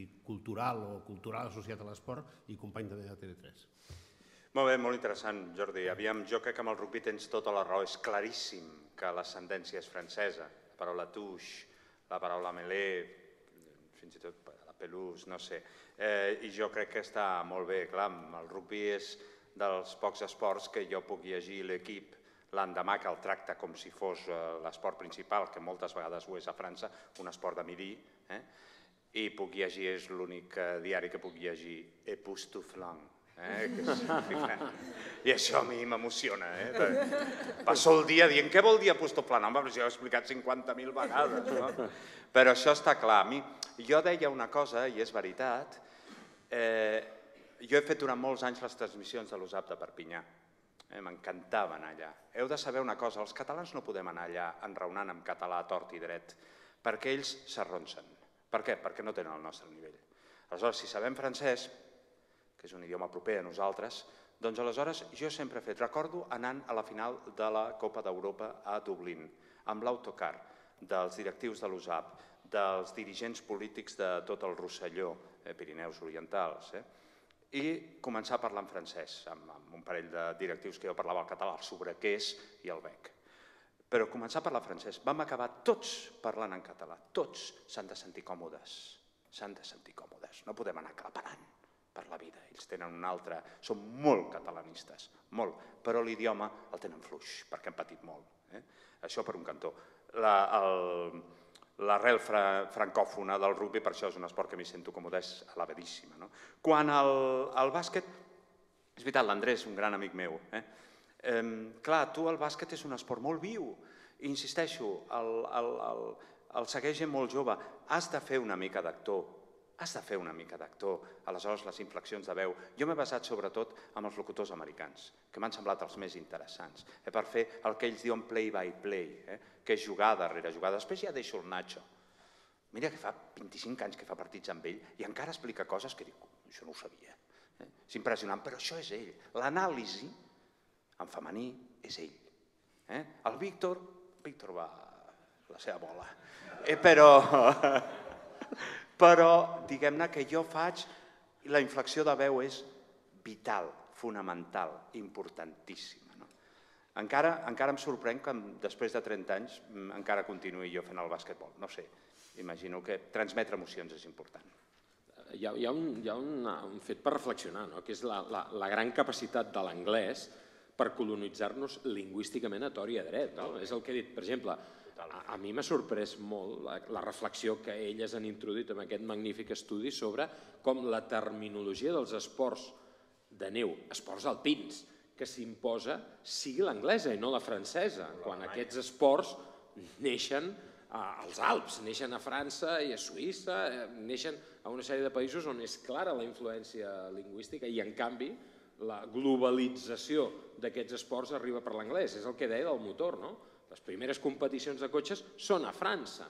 La Fórmula 1 esdevé un esport anglès, fonamentalment anglès, tret de l'excepció de Ferrari, i tota la terminologia que qualla és l'anglesa. No? Per tant, jo crec que és de celebrar que aquí a Catalunya la terminologia que tinguem del rugby sigui la francesa i, i que no s'hagi imposat la del país d'origen, d'altra banda, d'aquest esport, com és, sí, com és l'anglès. No? no deixa de ser un fet curiós, aquest, no? Fa pocs mesos vaig ser a Palafrugell i fent preguntes sobre futbol, un home em va explicar que allà era molt clàssic dir Teva Nicolau. I li vaig dir, què vol dir això de Teva Nicolau? I em vol dir, això és que un defensa nostre Una vegada tenia una pilota, venia al contrari, li va fotre cap endarrere, diu, però no va comptar bé i la va fotre gol. I com que veia que anava gol i que el porter no podia fer res, el porter es deia Nicolau, li va dir, teva, Nicolau! Llavors, això vaig pensar que era un efecte magnífic, perquè moltes vegades hi ha defenses que involuntàriament eh, fan gol a la seva porteria. I vaig pensar que un dia em parlaria per ràdio del Teva Nicolau. En parlo aquí perquè si ara fóssim anglesos, segurament el Teva Nicolau d'aquí uns quants anys diria tothom. Però si som de Palafrugell ho tenim, ho tenim més difícil. Continuem a TV3, eh? Sí, continuem a TV3. Uh, jo volia fer una reflexió barra proposta que potser semblarà una bogeria o una tonteria, però que estic convençut que de cara al futur uh, no ho serà tant i que enllaça amb un parell de coses que, que apuntava el Jordi, la, la preocupació pel fet que el català estigui desapareixent de, de grans esdeveniments esportius com la Champions, l'Eurolliga, abans la Fórmula 1 i amb la necessitat de cuidar el, el públic jove. El meu fill té 9 anys i al·lucina quan eh, la tele li retransmet el que ell fa amb la PlayStation, però li retransmet sempre en castellà. Ell sent a Manolo Lama, ell sent a Lobato, quan, eh, quan fa la Fórmula 1, jo em pregunto per què o quan trigarem a tenir videojocs que tenen una audiència, entre cometes, molt gran, perquè són molts els nens I el que món dels e-games ara, que és el que, el que ho peta. català. I vosaltres, com a veterans i, i cracs que sou dels, dels vostres esports, saber si us ho han proposat mai, si ho heu proposat mai, com ho veieu?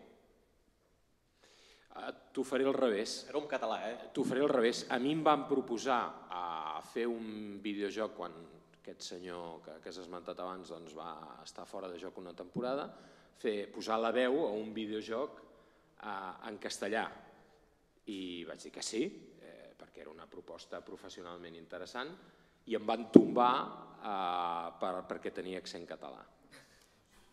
I aleshores això ho van... Suposo que si l'hagués tingut andalús els hagués fet molta gràcia, però com que el tenia català doncs em van tombar la possibilitat de, de, de fer el, el voice-over, que em van dir, eh, de, la, de la locució de, del videojoc oficial de la Fórmula 1. A mi em sembla que aquesta preocupació és absolutament pertinent i, i, i adequat fer-ho palès. Fa alguns mesos eh, algú, que no puc recordar qui va ser, en nom d'una iniciativa eh, d'un col·lectiu al qual no recordo quin era, ens va convidar al cinema Girona a fer una actuació a propòsit d'uns comentaris sobre videojocs articulats a través de comentaris nostres i vam anar-hi uns quants, entre els quals el Joan Maria Pou de rac i, i algun altre company que ara mateix no puc recordar. Era per fer pressió, per fer prendre consciència d'aquesta situació que evidentment em sembla una situació que cal observar amb deteniment perquè si els jocs no, no, no integren la llengua com una oferta normal és molt difícil que després nosaltres puguem des de la teoria i des d'aspectes tan allunyats de la praxi quotidiana eh, fer cap feina amb, amb resultats positius. No? El Gerard Piqué això... pot ser la nostra esperança, que sí, una empresa que es dedica a això. Això és una mica amb allò que deia abans de, la, de les potències i dels altaveus i de, les, i de la manera com està organitzada l'estructura industrial i, i també el món legal. No? I la, des, la desprotecció nostra en aquest terreny és cada dia més gran. No? Hi ha sí, altra? Jo el voldria dir-li a elles dues. Jo hi vaig ser a Andorra. Eh, vaig quedar, utilitzaré aquest esparverat, eh, caminant pel carrer, per 10 que parlaven castellà, n'hi havia un que parlava català. És a dir, el vostre, està molt bé el vostre treball, m'ha agradat molt, m'ha interessat molt perquè m'interessa la llengua, però fins a quin punt els efectes pràctics són els que són. És veritat que després a la, al pavelló de bàsquet era tot el contrari. Era un. Tot i que els crits els feien en castellà. Sí se puede. Què vol dir sí se puede? Si se puede, eh, què més era? Fuera, fuera, dels àrbitres pobres. No, encara sort que no et diuen un anar por ellos. No, a por ellos no ho van dir, a por ellos no ho van dir, sí, sí. Cosa, no que, és, sé, cosa que és d'agrair. no sé si, si vosaltres hi heu pensat, jo és que vaig quedar, amb, i a mi em deprimeix això, quan sento enraonar tant en castellà i no en català, quan passejo per casa meva, i Andorra podria ser casa meva també, no sé si, si vosaltres ho, això ho teniu en compte, si esteu preocupades al respecte, no sé quin tipus d'influència té sobre l'estudi tan interessant que heu fet. Aquest estudi, perdoneu, creieu que hauria tingut un, un, un resultat molt diferent si en lloc d'haver-lo fet eh, al país que l'heu fet, l'haguéssiu fet a, a Catalunya, per exemple? Ho dic, no sé. ho dic per la, probable, no voldria semblar supremacista, perquè últimament aquesta paraula eh, salta molt ràpidament, no? però si analitzéssim la composició de les redaccions dels mitjans andorrans, probablement hi ha un percentatge de gent eh, d'allà, nascuda allà, molt més alt del que trobaríem si comparéssim aquesta composició de les redaccions andorranes amb una redacció d'un mitjà de Barcelona. Aleshores, entenc, no sé si això és així o, o desconec la realitat social andorrana. Eh, Dues preguntes. Des de que el sucre i el formatge ja està igual de preu, ja no hi anem tant. Però eh, és així, això, o no? O sigui, són, són, són redaccions um, constituïdes per gent d'allà o no? Perquè Mira, això, això podria últim- adulterar el resultat positivament, clar.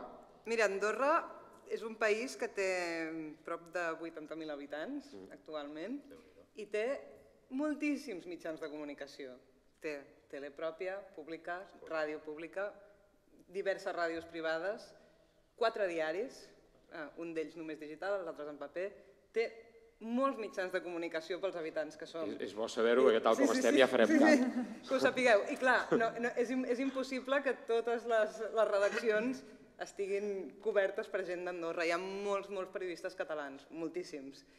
Aleshores, aquest és un dels motius pels que pensem que, que els resultats són totalment extrapolables. No, no podem pensar que la terminologia que s'utilitza a les dades que hem recollit sigui molt pròpia o característica d'Andorra, perquè molts dels periodistes venen de fora. I sí que podem trobar algun, algun, algun indici de, de, de coses específiques d'Andorra, que és una mica aquests pocs manlleus que, que provenen del francès, que potser aquí no es trobarien tant, com en, amb molt vocabulari de l'esquí de muntanya, per exemple, però, però jo, és, és un dels motius pels quals pensem que no hi ha d'haver massa diferència entre el que hem trobat a Andorra i el que trobaríem aquí. El que passa que Andorra facilita molt que es parla moltíssim d'esports d'hivern. Aleshores les dades es recullen amb molta més facilitat, entre altres coses. I pel que fa la primera pregunta sobre situació sociolingüística d'Andorra, era una pregunta una mica general, no?, sobre com està No sé, el tema. no sé, era una pregunta que jo hi he pensat, Um, potser perquè vinc molt preocupat. El que vaig veure ahir em va preocupar molt, feia temps que no pujava a Andorra, jo no sóc esquiador, no vaig a comprar, i aleshores, clar, era... I vaig quedar molt aclaparat. No sé si Mira, que té algun eh, tipus d'incidència o és... No sé, no, no tinc ni idea. La llengua d'ús habitual a Andorra, mm, actualment, l'últim estudi que tenim, que és del 2015, diria, sí? Um, la llengua d'ús habitual, més o menys el català i el castellà estan, estan igual. Encara, Estan doncs. igual, sí. Encara. No, no, es- no es parla significa- més castellà que català, Però això però... significa la derrota en quatre dies, eh? Mm, Perdoneu, eh? va, va, va, va fent corbes, eh? Vull dir, Ui, no sé, no sé. de moment Tant de bo, estem, eh? estem, molt, l'estem, eh, estem observant. Però... Bé, bé, bé. bé. No, i a més, Sí, sí. no, hi- Home, el, el, el, des de l'esport, penso, Quim, podem aportar el que podem aportar, però evidentment tampoc som la, la solució d'un problema. Portada d'avui de l'Ara, eh? el suplement de les comarques gironines d'avui, eh? crit d'alerta per salvar els mots. I diu, el llenguatge sanitari perd expressions genuïnes per culpa de barbarismes i tecnicismes. I hi ha un altre comentari, diu, els pacients senten pitidos, tenen retortijons a la panxa o els surt un sarpullit a la pell. Clar, fixeu-vos, eh? O sigui, el llenguatge sanitari perd expressions genuïnes per culpa de barbarismes i tecnicismes. En aquest cas, no hi ha la, aparentment, no hi ha la invasió dels anglicismes, que en canvi patim de manera notòria en l'esport i que intentem d'alguna manera, o per la fórmula de, de manllevar paraules o per la fórmula de traduccions, substitucions o interpretacions, però en canvi tenen una clara invasió, en aquest cas, el problema en, aquest, en, aquesta, en aquesta situació concreta ve de la utilització del, del castellanisme directament, no? de la colonització de l'espanyol. No? O sigui, pitidos, retortijons i sarpullit. Clar, veus això a la portada de l'Ara i... És, és per pensar-ho, no? No hi ha cap més pregunta? Sí. un problema, no, és que tinc la bomba de pito ja, De pitido. I realment és un problema. Trobes textos i amb anglicismes, anglicismes, i tothom preguntant cursiva, no cursiva, què farem? A vegades que jo no sé ni què he de fer. Amb tant d'anglicisme? No fer el ridícul. Traduir el que pots traduir i el que no es pot traduir no es pot traduir. Ser molt pràctic, molt pràctic. Utilitzar el català com una llengua moderna, com el que som. Eh? No sé, eh? I utilitzar la cursiva, llavors, evidentment, al seu. No? Per exemple, sí, per Podem convertir el text en, un, en una cosa absolutament... Depèn. Si tant, si tant tirem de cursives, jo crec que no. que hem, hem de... depèn.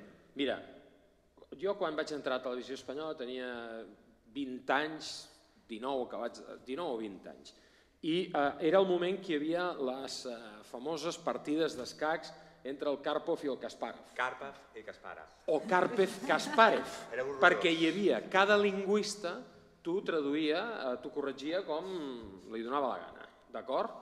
Tot plegat, que jo, mm, que era molt punky a aquella època, doncs eh, entrego el text, em va, trucar, em va tocar un lingüista, sabia que aquell era de la línia dura, i vaig dir, anem-li a tocar el vora viu. I aleshores eh, vaig fer una peça, un text per un telediario en aquell moment, i eh, a cada, en català, en català era pel, pel carrilet, català. correcte.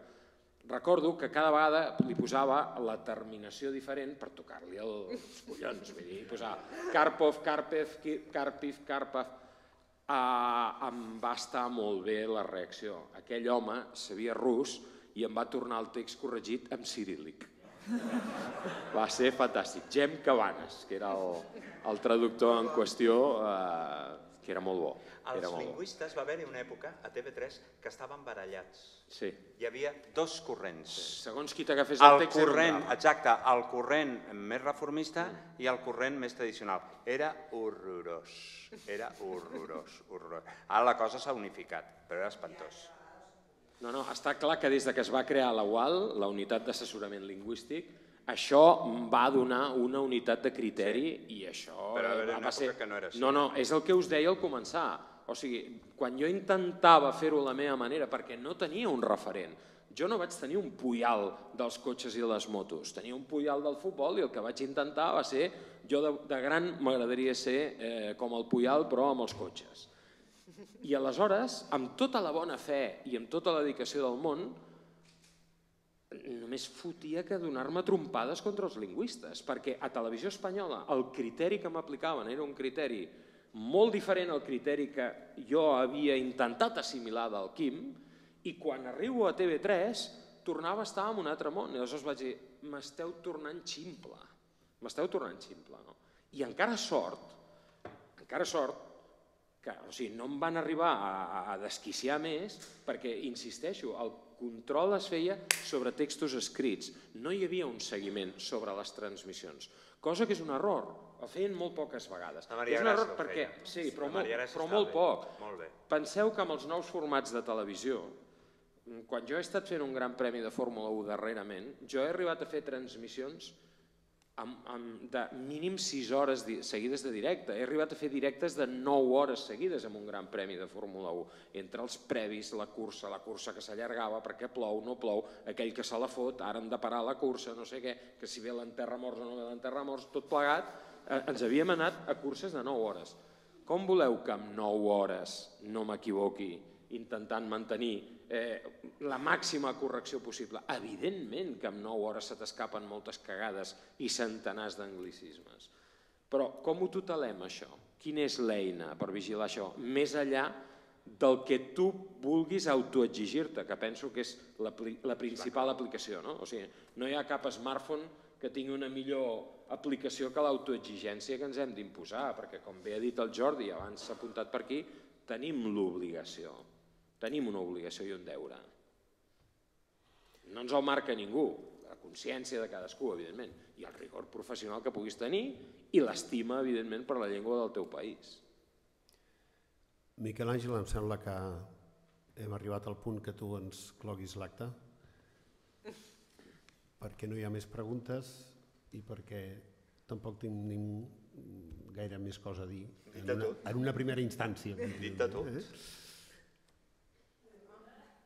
Calla, cuita, cuita. Cuita, cuita. Encara està viu? Sí. Ah, sí, home. Time out. O va servir, com vulgueu. o buzzer beater. Exacte. Eh, si es pot fer pel Rubirosa i pel Merlos. Eh, Aleshores trigarem eh, a respondre. eh, pel Merlos. Eh, Hauria de contestar el Jordi, que és molt més gran que jo.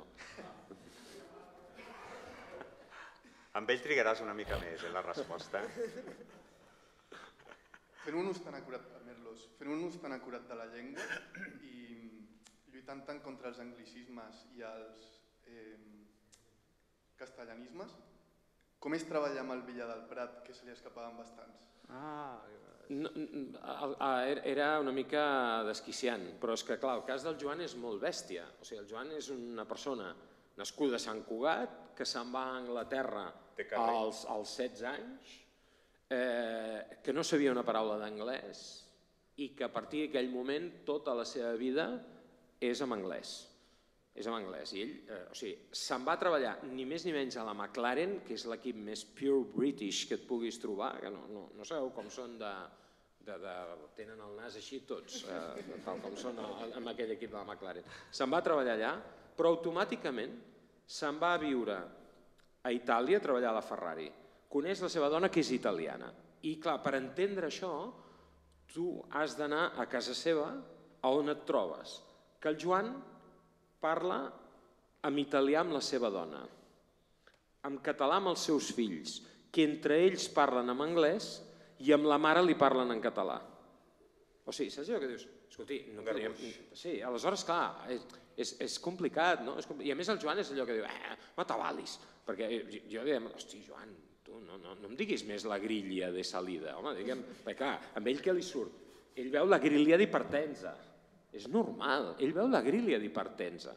I quan em parla del fons pla del cotxe, encara sort que em parla del fons pla del cotxe, perquè els anglesos en diuen the wood, perquè el terra del cotxe de Fórmula 1, per estrany que sembli, és un tros de fusta. I com li diu el Joan Villar del Prat? El leño. Puguem triar el debut o el fons pla, li diu el leño, perquè, perquè els italians a la fusta li diuen el leño. Aleshores, el cas del Joan és, és, és ostres, no, és complicat, eh? És i després parles amb ell i, i té una sensibilitat enorme cap als temes de Catalunya, No li toquis Catalunya, que també és dels que està molt emprenyat últimament. Però, en canvi, el seu nivell d'expressió, condicionat per tots aquests anys de... de, de... Això de la Fórmula 1 és... Eh, quan estàs allà parles, eh, parles de tot. Jo em passava amb els circuits eh, més temps parlant en anglès i més temps parlant en italià, sobretot a les, a les motos és diferent. A les motos eh, es parla català. El Jordi mai ha cregut, per exemple, amb el Mundial de Trial, ell sempre m'ha dit que era mentida el Mundial és de Trial. campionat de Catalunya. Diu, tots són catalans i el japonès que Eh, teniu renega en català, és, és veritat. És el campionat de Catalunya. Tenen un japonès que viu a la Cerdanya. Ah, I que renega en català, que uns no macagos eh, molt, molt espectaculars. I és japonès. És, és complicat. Sí. Mira, jo ara el bàsquet femení a vegades el fa un altre noi, però jo també el faig, ho faig amb la Cindy Lima. La Cindy Lima, que és una noia guapíssima de 1,95 m, de raça negra, guapíssima, simpatiquíssima, té 35 anys, sembla que en tingui 20, una professional del bàsquet enorme, ha jugat Jocs Olímpics a un nivell bestial, que la seva mare és cubana, el seu pare de Sao Tomé. Aleshores té un català, el va progressant, l'has de deixar. Si l'espifiada és molt grossa, aleshores li dius, no diguis aro, digues cistella o digues ferro. I ella ho va, ho va assimilant a poc a poc. Ells són els especialistes, s'han de sentir còmodes i tu has de fer que el que tens al costat se senti còmode. Eh? Ella la tinc a la seva butxaca perquè em va dir el meu pare és de Sao Tomé, saps on és Sao Tomé? Dic, perfectament. I com ho saps? Per la filatèlia. Però clar, com que sóc l'únic que he sabut on era Sao Tomé de tots els que he conegut, jo he sabut on era Sao Tomé, però tu eh, milloraràs en el català. És com un acord tàcit que tenim. I la que tenia pel Rubirosa era que si el, de tots els conceptes que has dit que eren complicats de traduir, pel pick and pop, eh, bloqueig i abertura et semblaria... Bloqueig i continuació cap en fora perquè després puguis tirar. Clar, s'ha acabat la jugada. Fa estona. Si amb, el, amb avança Messi s'acaba, imagina't amb el bàsquet, que en 10 segons poden haver-hi dues cistelles perfectament. És el problema que tenim, que l'anglès amb això... Ah, és perfecte. Pica pop, pap. Bloqueig, continuació, pilota cap en fora. No, home, no, no pot ser. O sigui, bloqueig i obertura, per exemple, no et semblaria correcte? Eh, bloqueig i obertura, estaria bé. Ho utilitzaré i aleshores pensarem tu. Pròxim partit. Si és que, si és que tenim pròxim partit. Va, sí, sí, faig, faig la Lliga LEP del Manresa. Ho diré. Bloqueig i obertura, com et dius? Quim Ferrer. Molt bé, Quim. Ah, quan començàvem una cursa de Fórmula 1, a TV3 sempre dèiem s'apaguen els cinc semàfors, comença el Gran Premi. A Anglaterra hi ha un gran referent, que per mi és Déu, és un senyor que ara és molt gran, té 96 anys, Manoi. i, no, sí, sí, però aquest senyor l'any 1950, quan comença la Fórmula 1, ja transmetia curses per la BBC, ràdio, evidentment, i ho feia el seu pare. Aquest senyor és eh, Déu, i Anglaterra és una celebritat, protagonitza grans campanyes publicitàries institucionals del govern, perquè és, és, és, és el puto amo. Es diu Murray Walker, i jo li tinc molt respecte i cada any quan vaig a Silverstone ell hi va i cada any em faig una foto que penso pot ser l'última i sempre li demano... Encara, encara la palmaràs tu, eh? Sí, també, també pot ser això. Això és com la meva tortuga, que té 60 anys i encara belluga. I sempre li demano consells, no? I, i moltes vegades em diu, no t'atabalis, això no ho expliquis perquè la gent no ho entendrà, preocupa't més dels aspectes formals. La tria de l'anglès. Per què vaig decidir no agafar el model castellà, perquè no en saben, de transmetre curses i sí l'anglès? per aquesta sonoritat que deia el Jordi, aquesta manera que tenen de fer els locutors americans al bàsquet, no? que això al Montes t'agradaria o no t'agradaria, però tenia un estil sonor propi. No? S'apaguen els cinc semàfors, comença el gran premi. Murray Walker diu, and the race is gone underway and go, go, go, go! Sempre començava els grans premis així. Clar, et quedes enganxat amb un tio que, que sempre, and the race is gone underway, and go, go, go, go. Era la manera de llançar la cursa que tenia el Murray, no? Aleshores dius, hosti, jo vull ser com aquest. La diferència és No? que als països anglosaxons el periodista esportiu és una persona molt respectada. Jo quan vaig al Boston Garden i veig que allà hi ha un micròfon penjant, que és el de Johnny Most, que feia els Celtics fins al final de la seva vida, fins que no va poder més, o Harry Carey, béisbol, que és un esport que m'encanta, a Chicago, eh? i el respecte. Hi ha, hi ha periodistes que tenen monuments. Aquí, aquí, eh, el dia que nosaltres ho deixem córrer l'endemà, no ens deixaran entrar als camps. És la veritat, perquè no tenim, no tenim aquesta tradició que tenen els anglosaxons de respecte cap al periodisme esportiu, encara que nosaltres vulguem fer-lo doncs, un capítol de la cultura, que ho és, perquè l'esport és cultura. Permeteu-me dues preguntes breus al Quim. Uh, la primera, abans quan ha parlat la Neus, ha exposat una sèrie de, de paraules que Fabra a poc a poc va anar deixant provenients del, de l'anglès i que tu has continuat utilitzant a les retransmissions, com el HEMS, com el Flequic. Entenc que perquè hi ha públic que les continua utilitzant, en aquest sentit m'agradaria preguntar-te com eh, mantens o com copses el, el lèxic futbolístic popular eh, per després incorporar-lo a les retransmissions, és a dir, escolta gent, parles amb gent, eh, intentes fer una mica d'estèrminos, com deia la- l'Ester Bonet, aquesta seria la primera, i la segona, enguspar. Eh, el, el significat exacte que li dones... Això és mallorquí, no? Crec, crec que l'entenc, però eh, no sé si per la fonètica em dona una certa sensació d'agafar una pilota amb una certa precipitació, amb una certa dificultat. És a dir, em, em ve una sensació de, de ganxo, com si diguéssim, no una cosa fluida, neta, sinó una cosa més accidentada. Hi ha moltes coses associades al, a la, al discurs, a l'expressió, a la oralitat i a lèxic que no hem tractat avui. Oi? Um, clar, la tria que tu fas com a orador a l'instant de fer servir unes expressions o unes paraules pot respondre a molts criteris. Pots fer servir un criteri estrictament transversal, um, un registre més, més divers, pots, pots prestar certa atenció als localismes, pots tenir en compte la variació. Eh, jo soc una persona molt, eh, molt permeable a les maneres de dir i de fer. És a dir, quan jo vaig a Palafrugell i parlo amb aquell senyor que feia un tema Nicolau, doncs jo poc parlo com parlo ara, eh? I si me'n vaig a Menorca, doncs salvo al cap de 5 minuts, perquè fa molts anys que hi vaig, i quan el meu mestre, el doctor Joan Beny, que és l'home que sap més de variació i que ha fet els atles lingüístics, un dia em va dir doncs tal vegada podries dir enguspar perquè a Mallorca és molt viva aquesta paraula, ja t'escolten. De fet vol dir el que seria en el llenguatge més clàssic del futbol blocar una pilota, agafar-la, no? Però més que blocar-la així, eh, enguspar-la, com, com atrapar-la, o com... sembla una mica el concepte seria aquest. No?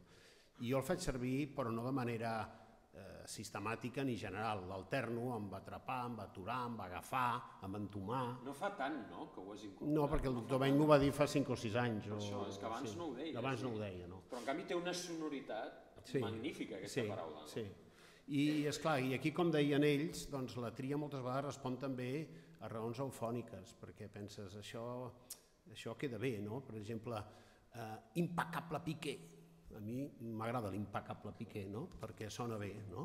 o el Puyol és Puyol, Puyol és Puyol, Puyol és Puyol. És a dir, hi ha, hi ha estructures que, que el titi titi titi titi doncs era una estructura que m'agradava perquè l'Enri era conegut com a Titi, aleshores amb el Titi jugava el Titi, aleshores un dia comences a dir Titi, Titi, Titi, Titi, això podríem dir-ho amb un rima, Titi, Titi, Titi, Titi, Titi, Titi, Titi, Enri, Enri, Enri és un final, un final baix. I llavors et permet ser una mica d'aportació en el terreny que en podríem dir purament estètic o purament formal. Aquestes coses jo crec que si es fan, si s'elaboren prèviament no surten bé. És a dir, aquestes coses s'han d'elaborar a partir del moment. Eh? Perquè si tu penses, si avui l'Urruti atura un penal li diré que l'estimo, malament, no? Eh, més val que les coses passin i que, i que la teva expressió sigui fruit realment de la, de la, de la força mm, que té eh, una idea que et ve a la boca i que l'expresses. Eh? I per tant, més que tenir frases preparades, convé tenir eh, eines esmolades per, per tenir recursos lingüístics de l'expressió, perquè nosaltres som en el fons professionals de la llengua, encara que siguem professionals del micròfon. No? En aquesta idea també tinc el concepte de mm, difícilment deixar perdre cap de les expressions o de les paraules que hem fet servir, tot i que n'incorporem de noves. Per exemple, ara diem el balcó de l'àrea, i això del balcó de l'àrea no ho dèiem abans. Um, jo quan vaig anar a Argentina al Mundial del 78 vaig veure que els argentins de, de la pilota en deien la, la, la lunareja, perquè tenia forma de lluna, no sé, no? I el del balcó de l'àrea també deien la media luna, encara que no és la meitat d'un cercle, però en fi, és una, la metàfora de la idea de la lluna creixent, no? que, vaja, que seria decreixent, perquè em sembla que la lluna és, és traïdora, no? que quan fa la C és que decreix i quan fa la D és que creix. No? Um, I per tant, jugues, jugues amb, amb diverses fórmules. La primera pregunta que m'has fet a propòsit d'anglicismes com el HEMS, que jo faig servir, però també faig servir mans. Eh? Potser abans feia servir més HEMS i ara faig servir menys el HEMS perquè em sembla que això ha evolucionat. I ara incorporo el balcó de l'àrea quan, quan abans hauria dit la mitja lluna, perquè jo això dels argentins ho vaig aprofitar i li vaig dir mitja lluna. I, i abans jo era dels que deia refli al començament i ara el dic molt poc. En canvi mantinc el corna, perquè em sembla innecessari anar a la cantonada, hi ha gent que diu cantonada. Però aquí ja és qüestió de, de gust, d'estil, d'estil. Eh? Mm, Amb el català a vegades som una mica primirats. En castellà sents un dia que una tertúlia algú diu no és qüestió en baladí, i això sembla que sigui la mar de normal. I tothom comença a dir que no és baladí, i ara això del baladí en castellà s'ha posat de moda. Si això ho féssim l'equivalent en català ens dirien que parlem un català passat de moda i florit. Nosaltres jo crec que tenim molt poc orgull i, mo- i molt poc respecte cap a les nostres pròpies maneres. De, I aquí hi ha una base important dels, dels problemes que tenim. No? Per tant, és veritat que la Neus ha dit que hi havia algunes expressions que el mestre Fabra considerava que s'havien de, d'anar bandejant si és que hi havia fórmules que podien semblar més genuïnes, però també és cert que quan jo vaig començar a transmetre partits jo em fixava en el català que es parlava.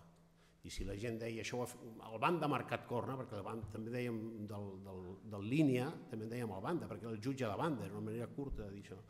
Doncs escolta, si la gent deia banda, a mi m'ha quedat bastant això del banda, i ara a vegades encara dic el banda. Però també algun podríem dir, però també és jutge de línia, sí. I segons com, linear, o línia, o linesman, jo què sé, pots dir, en un determinat pots dir moltes coses i totes tenen una certa vigència. Això és bo, no? Ara fa anys que no dic escapolir-se de l'escomesa, anys, però encara hi ha gent que em parla de l'escapolir-se de l'escomesa. És, eh, sí, jo crec que és bo perquè quan més variació tens i més diversitat tens, més pots eh, buscar unes fórmules que facin el discurs no tan repetitiu o reiteratiu i a més a més les pots associar al que et convé en cada moment. No? Eh, La, la TDP cada vegada és més coral. És una transmissió on és més un... Jo sóc com el teu amic americà, aquell que fa 50 anys, que es morirà aviat, i clar, estic buscant que, que cada vegada la gent m'ajudi més a fer el programa. No, però cada vegada hi participa gent més diferent i amb, i amb, i amb aptituds diverses i utilitzeu més tecnologies. Ah, no deixa de ser una tornada, més que una transmissió, s'ha esdevingut un programa amb una sonoritat determinada que busqueu i que cuideu, especialment en els previs i en els post i, al, i, a, la, i a la mitja part, però aquesta coralitat està integrada sobretot per gent molt jove, especialment jove. No? Què et resulta més influent? El que reps quan vas a Palafrugell, quan vas a Menorca, o el que reps quan estàs en convivència amb aquesta gent tan jove, que en definitiva doncs, ostres, és, representen el, el, una audiència potencial de futur, no? un sector que, que ens ha d'escoltar en els pròxims anys. Sí, jo els escolto a tots i, i escolto amb molta atenció les aportacions que fa tothom. Algunes vegades m'adono d'una cosa que em, que, em, que em sembla horrorosa i és que quan parlen amb mi parlen d'una manera diferent de quan parlen entre ells. I quan jo m'he trobat a la, a la televisió, no amb cap persona del meu equip, però m'he trobat a la televisió una persona que parlant amb ella m'ha dit una paraula i jo privadament jo li he dit home, això es diu així, es diu sí, però jo parlo així a la tele, a la vida real parlo així. I això em sembla horrorós. No? O sigui, quan... Però aquest efecte l'has generat sempre. Perdona? Aquest efecte l'has generat sempre. No, però hòstia, quan, ets el Puyal, m'entens? I quan, quan, quan jo tenia 19 anys i començava a treballar amb tu, hòstia... Ja, però el que vull dir, el que vull dir, Josep Lluís, el que vull dir, Josep Lluís, és que tu t'has de creure la llengua. Clar. Eh? I, si, I si tu et creus la llengua, no tens cap problema en parlar com tu vulguis parlar. Eh? Eh, ja sé que ara doncs, es parla com es parla, però jo demano als meus col·laboradors que mirem d'acostar-nos a la norma. I si noto que en els meus col·laboradors aquest missatge només l'apliquen quan parlen per davant de les audiències majoritàries, però la intimitat no, em sembla que és un mal servei perquè és una actitud postissa, és una actitud artificial. La llengua te l'has de prendre creure perquè et dona solucions sempre i en tot moment i en qualsevol circumstància. Per tant, eh, doncs, eh, s'ha portat les mans al cap doncs, eh, és una cosa que a mi em sona malament, tant si és a la vida real amb el nen quan s'està eh, posant xampú com si és per ràdio o per televisió. No? Les persones no ens portem les mans al cap, ens toquem el cap amb les mans i això ja obeeix a unes estructures que costa molt eh? l'apretar, doncs aquest és un partit molt apretat, és un estat molt apretat, aquesta hora està molt apretada, que el metro està molt apretat, doncs clar, hauríem de mirar de buscar les alternatives, no? el resultat pot ser ajustat, no tant perquè sigui just, sinó perquè, eh, o potser també just, però eh, i reflexionar sobre, sobre la llengua. Això és el que jo intento fer amb els meus equips. No? I quan m'adono que ells a la vida real mm, em fan aportacions que són interessants, perquè, perquè clar, el programa no ha d'evolucionar com evoluciono jo. Si evolucionés com evoluciono jo seria un programa gran i segurament l'audiència seria majoritàriament gent gran. Justament tenir gent jove permet que les metàfores, perquè clar, jo diria coses que ells no m'entendrien, no? Eh, és alt com un Sant Pau o, o, o ser més llarg que no sé què, un dia, un dia sense pa, hi ha coses d'aquestes. En fi, avui en dia les metàfores són unes altres, no? i avui que el programa incorpori aquestes metàfores. Per tant, no es tracta d'anar sempre a buscar allò que era, sinó també d'admetre les, les, les, les noves eh, aportacions de la, de, de, moltes vegades de l'àmbit col·loquial, no? però, compte, tenint, tenint un, un mínim de criteri a l'instant de, d'aclarir si aquestes expressions, com allò que tu explicaves abans, que havies, de, o també el Jodi, expressions que havíeu decidit adoptar, ara mateix li has dit amb aquest senyor que potser adoptaràs aquesta expressió al pròxim, però jo crec que això està bé, no? jo crec que això està bé. Ara, però la hi dedicaré. Sí. I d'aquestes n'hi ha moltes, no? perquè les, les, les targetes que porten, no? les targetes només les porta l'àrbitre, no? ningú més porta targetes. No?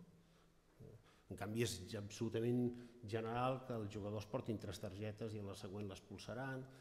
Llavors, insistir sobre aquest tipus de... Però, és clar si no tens això incorporat també al llenguatge quotidià, si no penses que, que, que el llenguatge quotidià també aplicaràs aquest criteri perquè també trobaràs solucions, aleshores hi ha una de diglòsia molt, molt, molt injustificada, no? perquè la llengua te l'has de creure i, i has de viure en la llengua.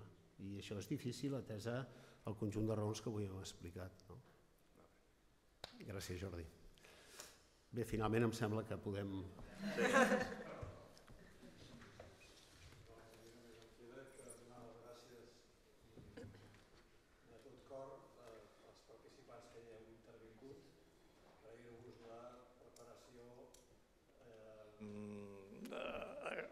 diguem-ne, expo exposició i passió i sentiment que hi heu posat, a més a més. Moltíssimes gràcies també a la casa, que ens facilita doncs, el tenir aquestes instal·lacions, i gràcies a tothom que hi heu tingut l'interès de, venir a escoltar i doncs, a aplaudir aquesta colla.